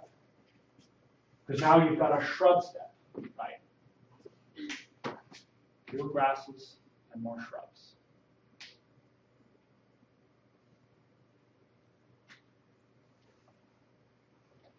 What's going on? Give you a hint. What does the gravel tell you? Increased gravel on the soil surface. Hmm. The soil, the soil's disappearing. The so- right, and so the, the, the erosion and the compaction has fundamentally altered those soil properties. If you have less of the fine material, less of the fine soils, what else can you assume that you have less of? Nutrients, Nutrients and what else? um, de- like detrivores or species, or decomposers. Yeah, actually, it, it is true. With coarser soils, you do get a, sometimes a shift in, in the, the soil fauna. Yes. Um, and but I was thinking organic matter, right? So you got impacts to the stocks of nutrients um, and organic matter. So that's type. Uh, I recall my mind. Type four. um, and given the reduced a horizon, the increase in, uh, or the, the shift to coarser textures, um, and combination, uh, the decreased nutrients and organic matter, and add in compaction, what do you have then?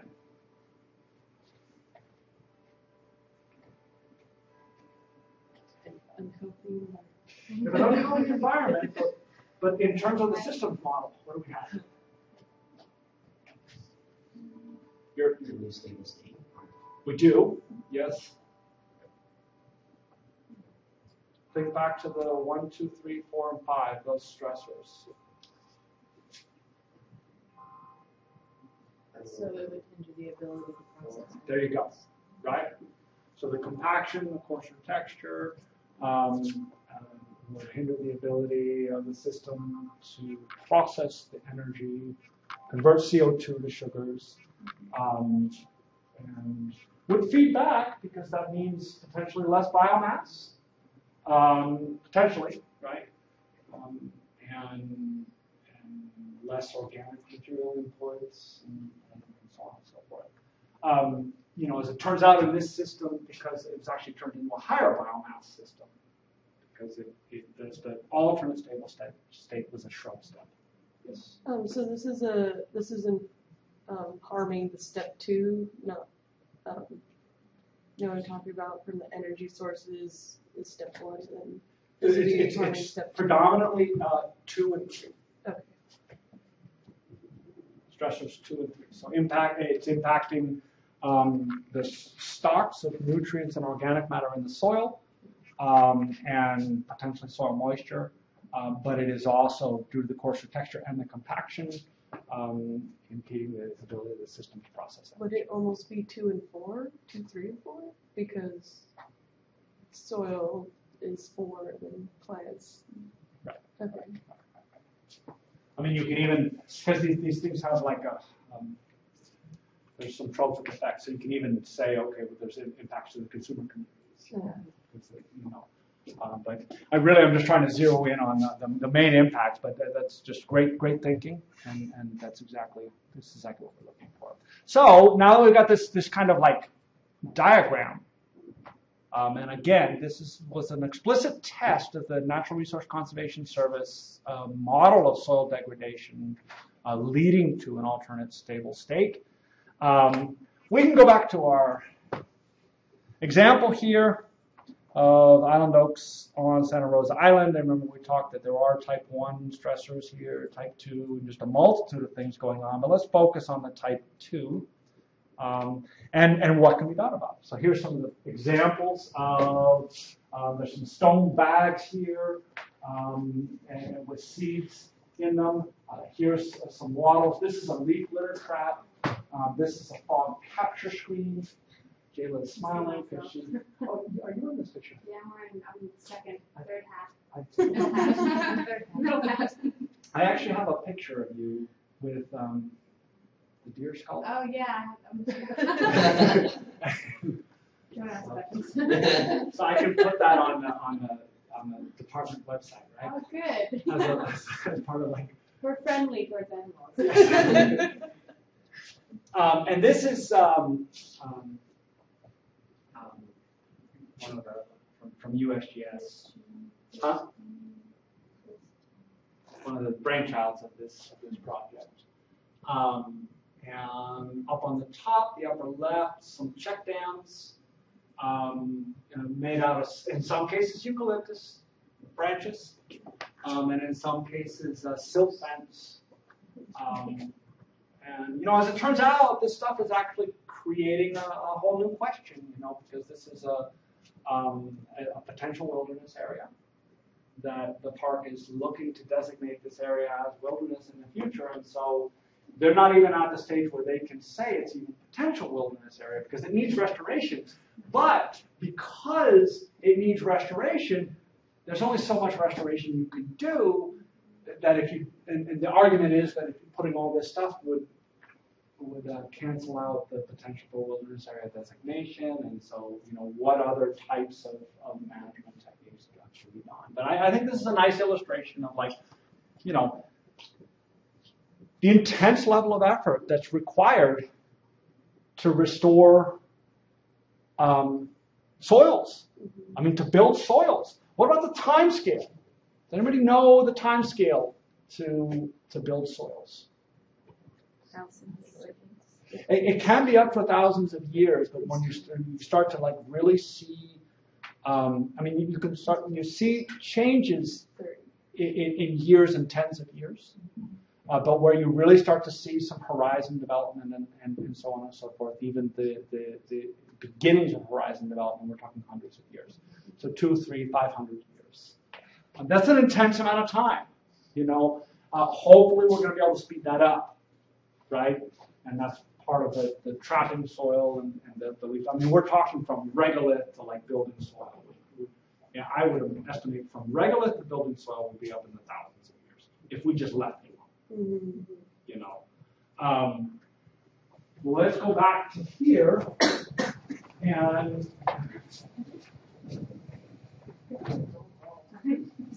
bare ground. In 1993, the bare ground covered 20.4 square kilometers.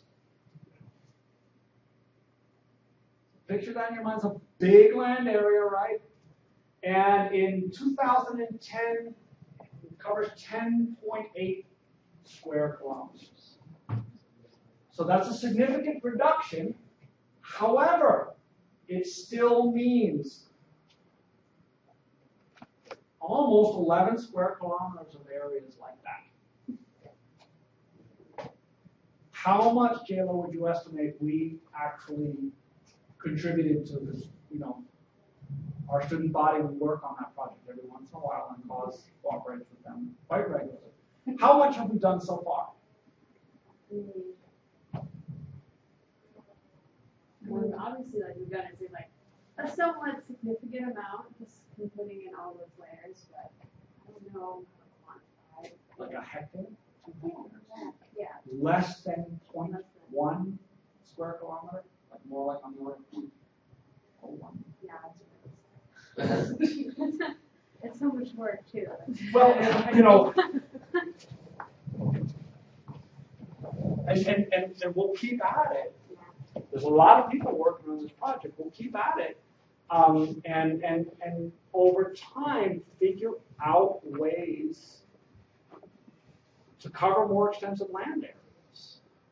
Um, and now we've got, you know, the ability, we've got these aerial photographs back there going back to 1929, and we can quantify a little bit better, really, what, what, we, what we need to be looking at.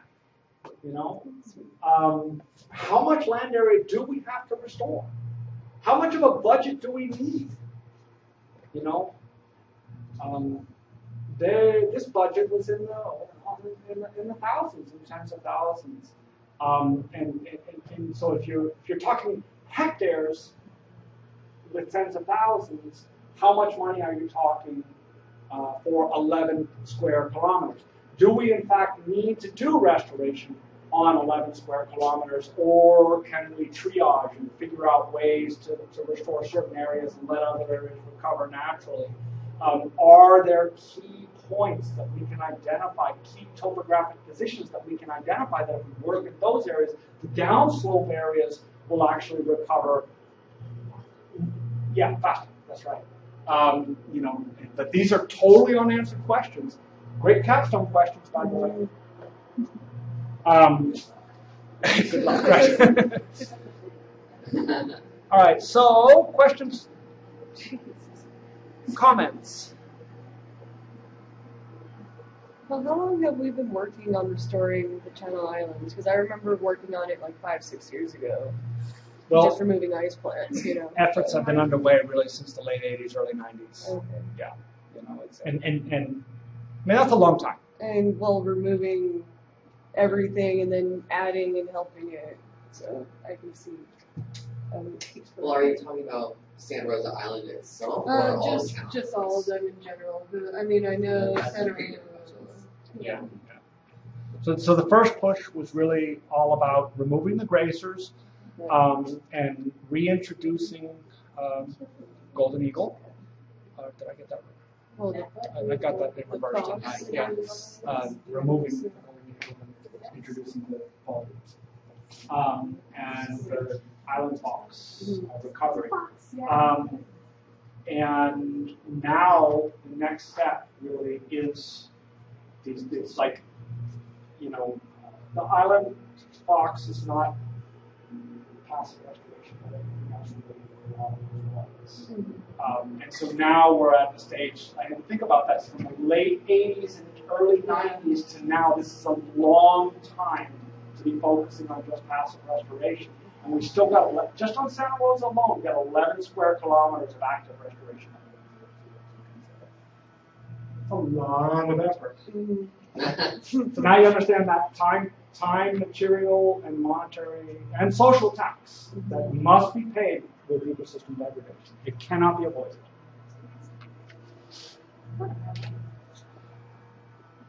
But the good news is that um, this island oak restoration has the potential to achieve something that is quite rare in restoration. It's something that I saw during my dissertation down in Bolivia. and I'm quite excited to explore the same thing here. Um, but if you get, in this case, let's talk in, in terms here, you get tree canopy reestablished, and you get soil development, you get increased infiltration associated with these erosion controls. Um, you get groundwater recharge, and the seeps and springs can flow more regularly, have higher flow rates, and much down, much further downstream, um, you get more stable base flows um, in the in the lower reaches of the streams. Is there a plan to remove those since they shake up to hundreds of gallons of fresh water? Some, but not all. And, and some are, yeah. Um, there's there's some like uh, windrows that are going to be reserved. It's called a resource.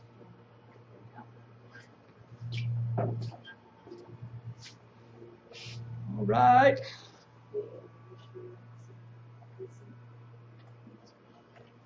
Okay, uh, so this is a nice segue, this uh, seep and spring example. It's a real nice segue to another real, real major source of type 2 degradation, and that is um, impacts to groundwater levels. Uh, so this is a view of a um, seep up in the Tehachapi Range. It's actually right on the uh, up. Uh, so right uh, south of Tejon Ranch, um, and it's a, an area with just a lot of, of seeps and springs and wet meadows. Um, and it, it was very difficult for me to take a photo that showed the full extent of what was happening, but this is the upper portion of a, of a, of a very small wet meadow. Um, and this is the lower portion of the wet meadow. So you see in the lower portions of the wet meadow, a gully had formed, um, and that, that, that the, the head wall of that gully was actually moving up upslope year after year. Um, and so this is an issue throughout the Southwest. Um, it's an issue in many other parts of the world um, where you get, um, as you get gully ins- ins- ins- incision. Is that a secret joke? Um, as you get gully incision, um, you get a, a- like a similar to a cone of depression, which you probably learned about in, in Dr. Class uh, as you extract groundwater. Um, get an, an area that is, in some cases, up to 100 meters from that gully. Uh, you get um, depressed groundwater levels. And in river systems, that area can be even greater. Okay, let me go to the next next slide. So you guys see the visual here, right? You got a sea for a wet meadow and you've got a gully incised through it. The same thing can occur in river systems, um, but at a different scale. And so what can end up happening is this is one publication about um, wet meadow degradation in the, in the, the Southwest here in the United States. Um, and so the, the wet meadow shown on top, um, think of this as one stable state. As the gully incisors a little bit, um, the, and, and the, the, the groundwater basically follows that level of the gully. Okay? And the more that gully incises, the more that that groundwater uh, lowers and lowers and lowers.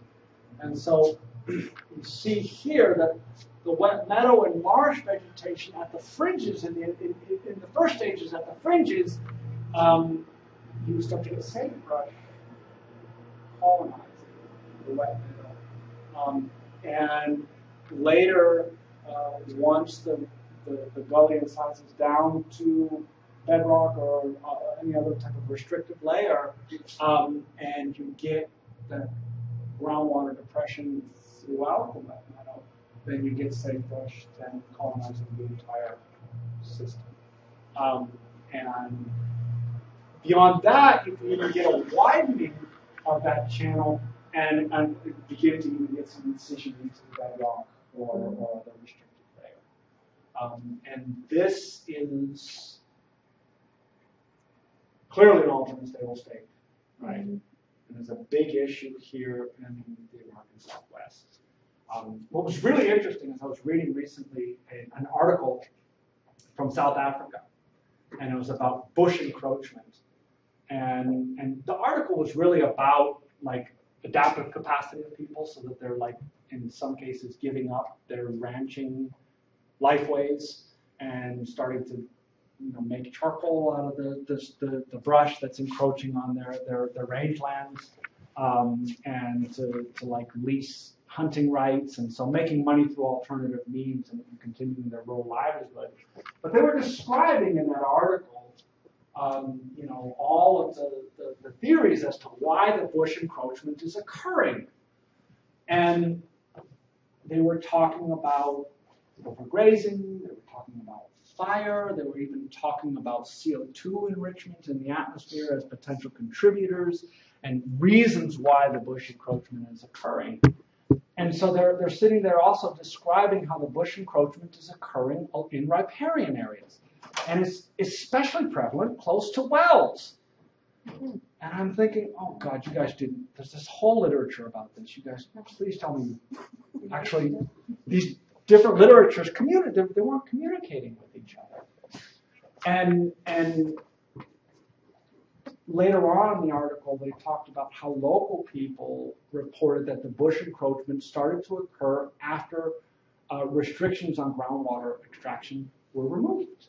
And so farmers could indiscriminately uh, extract groundwater, and that's when the bush encroachment began. Um, it was just very interesting to see the same pattern on a different continent in, in a riparian system, not a wet meadow system, in a rangeland system. Um, but uh, but basically, um, you know, the, the shrubs and, and, and trees, in this case the sagebrush, you know, what's happening is it does not like wet feet. The soil moisture is too high, um, does not survive well, and, and for a lot of um, woody plants, you can get um, root fungi and all kinds of other things that are occurring, and, and an inability to, to, to metabolize in, in, in moist soils. Um, and uh, um, that's why the uh, sagebrush is encroaching into the wet meadow because they no longer have wet, funky feet. And presumably, that's the same exact thing that's occurring in, in South Africa, in these rangelands, that once the groundwater levels are depressed, um, then you're getting bush encroachment. And it's a very, very serious, serious impact um, to the local people and their livelihoods. Um, yeah, so good example of a type 2 um, stress. So, um, for the, the incision to be occurring, is it because, uh, in this case, is it because the groundwater is leaving and then the soil buoyancy underneath it is decreasing, so then it's cutting through deeper? Or is there, um, impaction that's happening, or is there, uh, So, shift, or what? so typically what's going to induce that erosion is some shift in management, grazing, overgrazing, and that sort of thing. Um, there, there are some natural sources of erosion, and, and so there's like in nature thresholds that slope, slope stability thresholds that have crossed the gully erosion can start. Um, and um, for example, out on Santa Cruz, there was a paper in, in which they did trace the gully erosion to um, to the to the grazers in the late 1800s. But given their analysis, they, they said that it was it was already reaching a, a slope stability threshold, and, and, and gully incision would have likely started even in the absence of of these non-native grazers, but definitely exacerbating diet. Um, does that answer the question, or did you have a different question? But well, for this particular instance, it didn't look like there was a lot of grazers around, especially now you have the xeric zone that's forming and, and the incision is still continuing. Right, right. I was just wondering, like, if if they know where, what started that gully and what's, what's keeping it moving. So, so this actually was a paper, I, I didn't mention it, but it was a paper about the impact of cows. Okay, Yeah, And, and, and in this case, um, there still was active grazing here, you know, um, not at high densities. Um, and, and in the past, there were a lot of cattle. Um, so, restoring this stuff, difficult. Um, but here in California, there, there- there's a lot of techniques. And I, I didn't, I'm not going to show it to you. Um, but all, all the, there- there's a, a nice figure that I have of all the different like techniques and, and, and their prevalence, how commonly they're used in the Southwest. Um, but one of the most popular uh, techniques has become pond and plug. Um, and so basically, you see here these borrow pits where they take material out um, and actually create an earthen dam. Uh, and so you're essentially you're converting, you're restoring wet meadows in some areas, but converting other areas of the wet meadow to a pond. Um, and presumably, given enough time, hundreds of years, uh, these areas will silt in, sediment will accumulate over time, um, and you'll get a wet meadow reestablished. Um, uh, but you now it's kind of it's been critiqued for that pond and plug technique. Um, as basically not being a true restoration, it's more ecosystem conversion. Uh, but a lot of people still, it's, it's popular um, because it's, it's, it's cheap. It doesn't require importing a lot of expensive materials, you're using materials right on site, it's quick. Um, so if you use, o- other examples would be using like, uh, weirs and gabions that you would have to import rock and, and, and wire cages to build them. They're very porous, and so it's not as fast, you know, it takes a long time, then, you know, for that sediment to build up. As it turns out, it doesn't take as long as they, they think it is. Again, this is literature not communicating with each other, because down in Bolivia, um, they did do a lot of check dams and gabions, and literally within five or ten years, the stuff would silt up. Um, and so it actually is a very effective approach, but the, the, the cost of transplant, like a lot of times, there's just not the stone material, or it's in a in a in a national park or wilderness area where they cannot cut down trees to build dams, and that, would be temporary anyways. Um, so, anyways, it, it's it's controversial, but it's been it's been used. That is a is a restoration technique. I would like to show you very quickly uh, from my dissertation some photos. Really, I don't want to spend a ton of time on it because I know a lot of people have seen this um, uh, this stuff before. Some haven't, but but some have. Um, this is the Ayumahasaya Alansaya that stands for, it's an, it's an indigenous Aymara territory that stands for the head, the stomach, and the feet of the watershed. Um, and this is 3,800 to 4,650 meters. So at the highest elevation, uh, people are living um, at an elevation that is higher than anything in the lower 48. Um, and Puna grasslands, uh, this is the semi-arid bunch grass steppe, perennial bunch grass steppe. Very low population density, about 14.7 people per kilometer square, and very severe gully erosion beginning in the 1950s. There's a very long and complex social history as to what triggered the erosion, but it is mostly traced back to land reforms of 1952 that superimposed private land holdings over the communal land holdings and created this dysfunctional morass of intracommunal, communal, and private family land use rights. And so it was just, it was dysfunctional and, and, and, and, and triggered that, that, that gully erosion. And so you can see it's really quite severe. I mean, in, in the lower reaches, they're not gullies, they're, they are ravines and, and can be, you know, 50 meters deep, you know, 60 meters deep in some cases, 30 meters wide. You know, they're, they're just massive. Um, and you see here uh, the, the what used to be these very extensive what are called bofedal systems. And bofedales are technically a bofedal is, is the wet meadow, but the bofedal vegetation uh, develops in seeps and springs as well. Um, and uh, you see here also terraces. Um, and uh, the wet meadows there, the bofedales. Has anybody worn an alpaca sweater? I'm going to see two people shaking their head. Yes? They're nice, right? They're soft, they're warm. They're not very popular here in California, but on the East Coast, you know.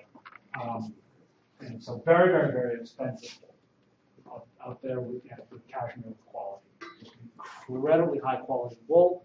Um, and though the alpaca depends on the bofedales, they only can, can really graze and survive in the bofedales.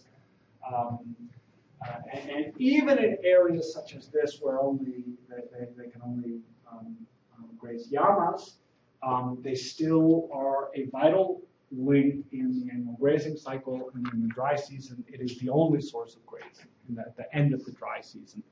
Um, and so uh, the incentive, this is a, a close-up shot, and actually an archival photo from the mid 90s, um, of, a, of a degraded bofedal, and you can see that up in the upper reaches it had been bofedal, and over time it is now becoming, it's converting to perennial bunch grass. Um, in these areas, it is also converting bit by bit to, to perennial bunch grass. And same story, depression of the water table, um, and, also um, in, in, in some cases deposition of um, sand and gravel on top. And, so you're both lowering the, the water table and increasing the soil level. So you got a double whammy going on. Um, and seeing here the, the, the llamas and in, in, in, in the background um, the rancho, it's called, and so families live in these dispersed ranchos. Um, and since about 1992, remember the high elevation, very dry, very windy, um, very remote environment. Keep that in mind when you see this 15 to 20,000 check dams. So imagine Santa Rosa or Santa Cruz scale level of effort. Right? Imagine how many volunteers would have to go out there over how many years to build 15 to 20,000 check. 9,100 terraces, 5,300 infiltration ditches. So that's the equivalent of like building, putting in 15,000 of those walls out on Santa Rosa. A massive level of effort. Um, over 1,600 trees. That's afforestation, which is the reason that the, the, the number is so low. Uh, 12 stock ponds, and it did lead to bofedal restoration. And so here's a shot of of one of the first types of check dams built, very rudimentary. Over time, they got really great at building them, and you can see um, how effective it was at capturing the sediment, promoting that infiltration, and that water retention, um, and using that standing water and, and, and, and vegetation. Um, here's a, a, another shot of some bofedal vegetation um, developing on these check dams. And this was also an example in which we saw some off-site or downstream effects. Um, and, you know, a diagram of what's going on here is that you've got this mass balance, this, this relationship between runoff and infiltration. Um, when you've got overgrazing and when you've got gully erosion, um, so reduced biomass. And here's a shot of, you know, um, reduced biomass and, and, cropping on these very marginal slopes and then grazing the crop stubble. And so they're inducing the, the gully erosion there. Um, you've got an awful lot of uh, surface runoff and erosion, very little infiltration. Um, and you know, Darcy's law describes the flow of groundwater. Um, and you've got a depressed water table. Um, and when you do do restoration uh, with the check dams, uh, with the terraces and infiltration ditches, with grazing management that increases vegetation cover, um, you have the effect over time of increasing the groundwater, and this is why you get this off-site or downstream effect. Um, and what's shown down at the, the lower reaches of these, these gabions. Um, and, uh, left, terraces and another check dam with some standing water right below it. Um, just by the by, very few women built check dams in in this project region. It was mostly men's work. There was one woman whose husband had died, and she took up doing check dams. And whenever you ask anybody in the entire region, who's like you ask for key informants, who builds the best check dams, everybody refers to her. And so she had built these check dams on a slope that was so steep. That's the I took these photos. A slope that was so steep that it would, you know, the water flows, the water velocities are so strong that it would not even be reasonable to assume you could have a check dam survive through the seasons. But she made it work. And anyways, thought I'd give that little plug. Um, and here's, you know, a, a, a view of, of the check dams. Um, you know, I'm, I'm not going to go too in depth into this. You can look at it later. I got to kind of speed up this this talk to get through the plant and, and consumers and so on and so forth. Um, you know, as it turns out, um, reduction in bare ground and an increase in bofedal vegetation cover comparing gullies with check dams um, and gullies without check dams. Um, so you have um, gullies with check dams about 36% cover of bofedal vegetation and without check dams on the order of 4 to 5% cover. So very dramatic increase in bofedal vegetation right in the gully itself. But as I mentioned, also these offsite effects, not just downstream effects, but also remember that like that area adjacent to the gully um, where you can assume that there is an effect. Um, so by using satellite imagery, normalized difference vegetation index, uh, derived from Landsat thematic mapper 5, Um, NDVI is just a basic measure of greenness. And so you take four pre-project years and four post-project years and compare the levels of greenness and the, the areas um, that, you know, uh, represent land restoration are shown in this dark blue-green here. Um, and you see that there's especially a, a, a nice corridor right along the main road where the highest density of erosion control structures are. Um, and the red represents areas of continued erosion and land degradation.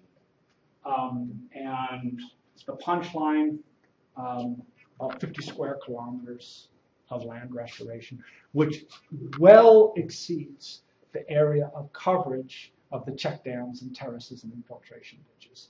So this is what leads me to believe that yes, even though we have 11 square kilometers of land that we need to restore on Santa Rosa and use very expensive and time-consuming um, active methods to, to do the restoration, we can in fact find ways to be strategic and, and, and, and, and find ways where we can induce restoration over much broader areas, even though we're doing management on very localized areas. Um, questions, comments?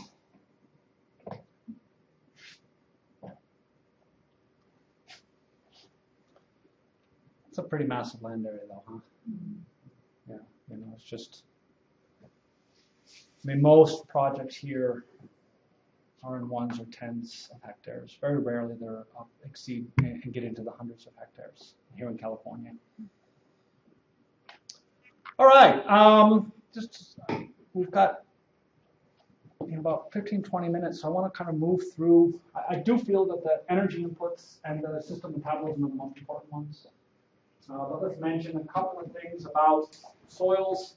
Um, here in California, biological soil crusts, very, very important. Um, and these are communities of diminutive but important organisms that may include lichens, mosses, liverworts, cyanobacteria, and others. Um, and these are some nice photos of, of what that biotic soil crust looks like. Um, and it's associated with a mineral soil surface and creates a cohesive thin horizontal layer. Um, and is a very important component of arid and semi-arid systems. Um, it's an ephemeral successional stage in other systems, um, but it is in, in our scrub and chaparral um, here on the coast. Um, go out and find it in the. You can go out and find it right here in the hills outside of, uh, uh, adjacent to campus. Um, and this is an active area of research for restoration because degraded sites typically no longer have that biotic soil crust. And we still have not really figured out truly how to restore that soil crust. Um, and so it's an active area of research. There have been some successful, some unsuccessful techniques, um, but you know, as, as a whole, we're still we're still wrestling with that issue and still trying to figure that out you know, whether it's like soil inoculation, soil salvage type techniques, um, and soil stabilization to just help promote that, and whether some soil amendments can work to help promote that soil biotic crust.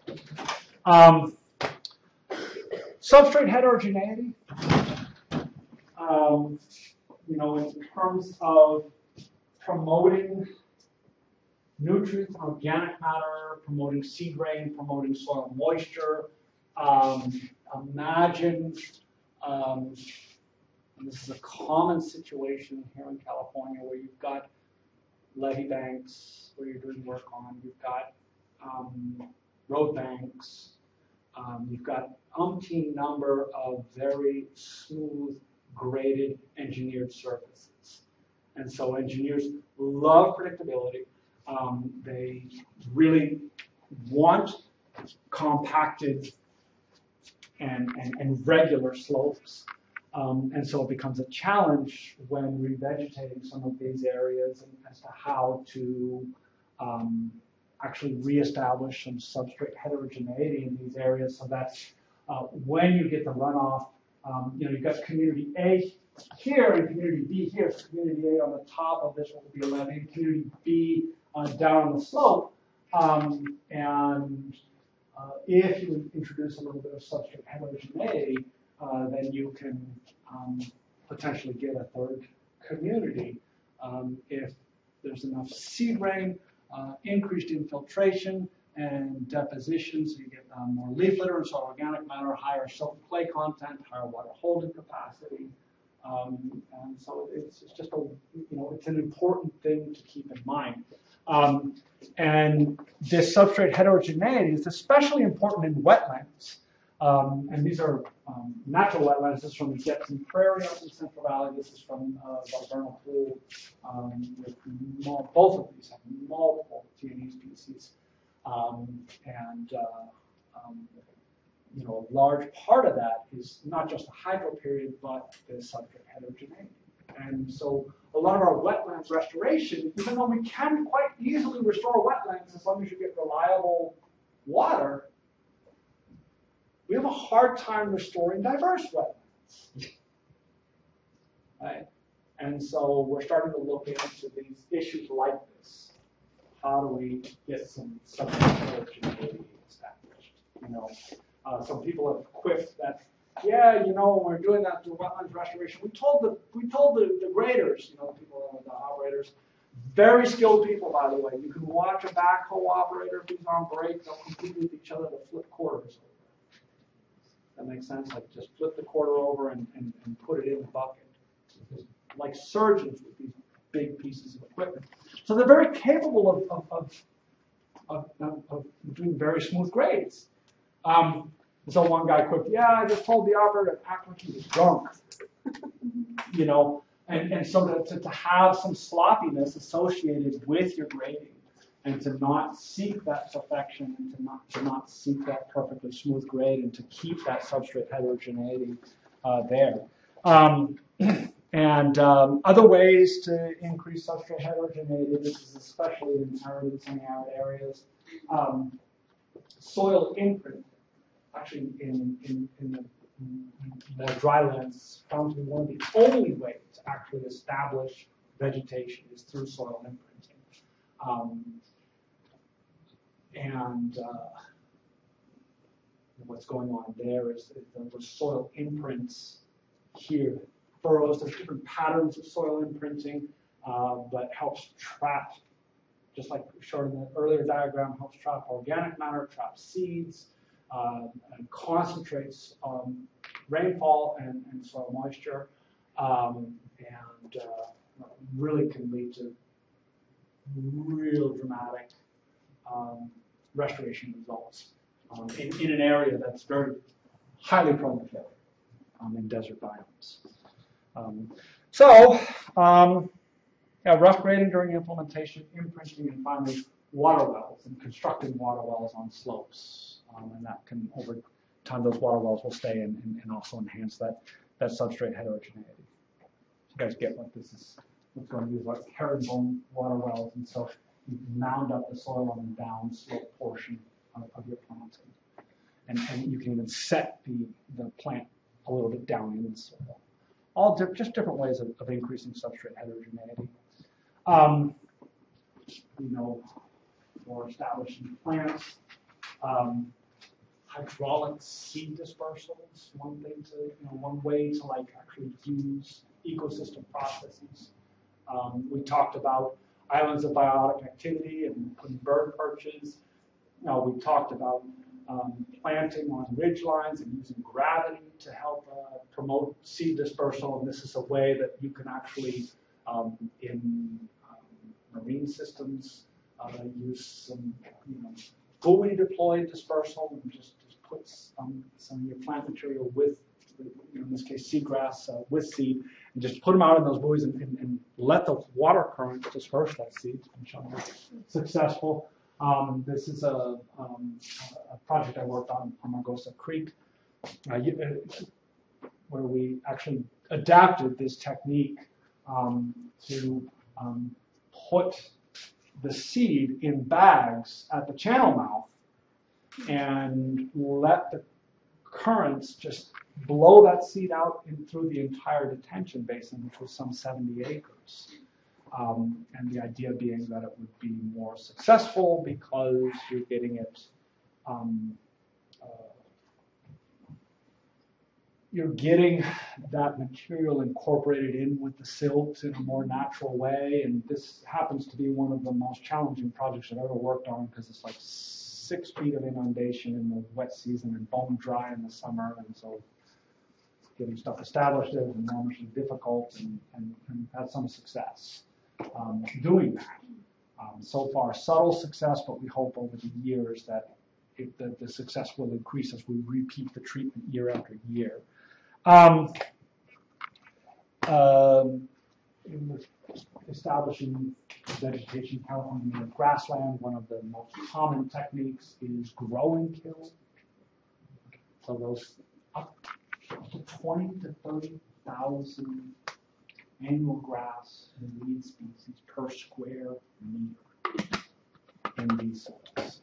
That's the seed that we're dealing with. So imagine if you go out and you plant and you spend thousands of dollars planting plugs or you plant seed um, out in an area with a, a non-native seed bank that is that robust.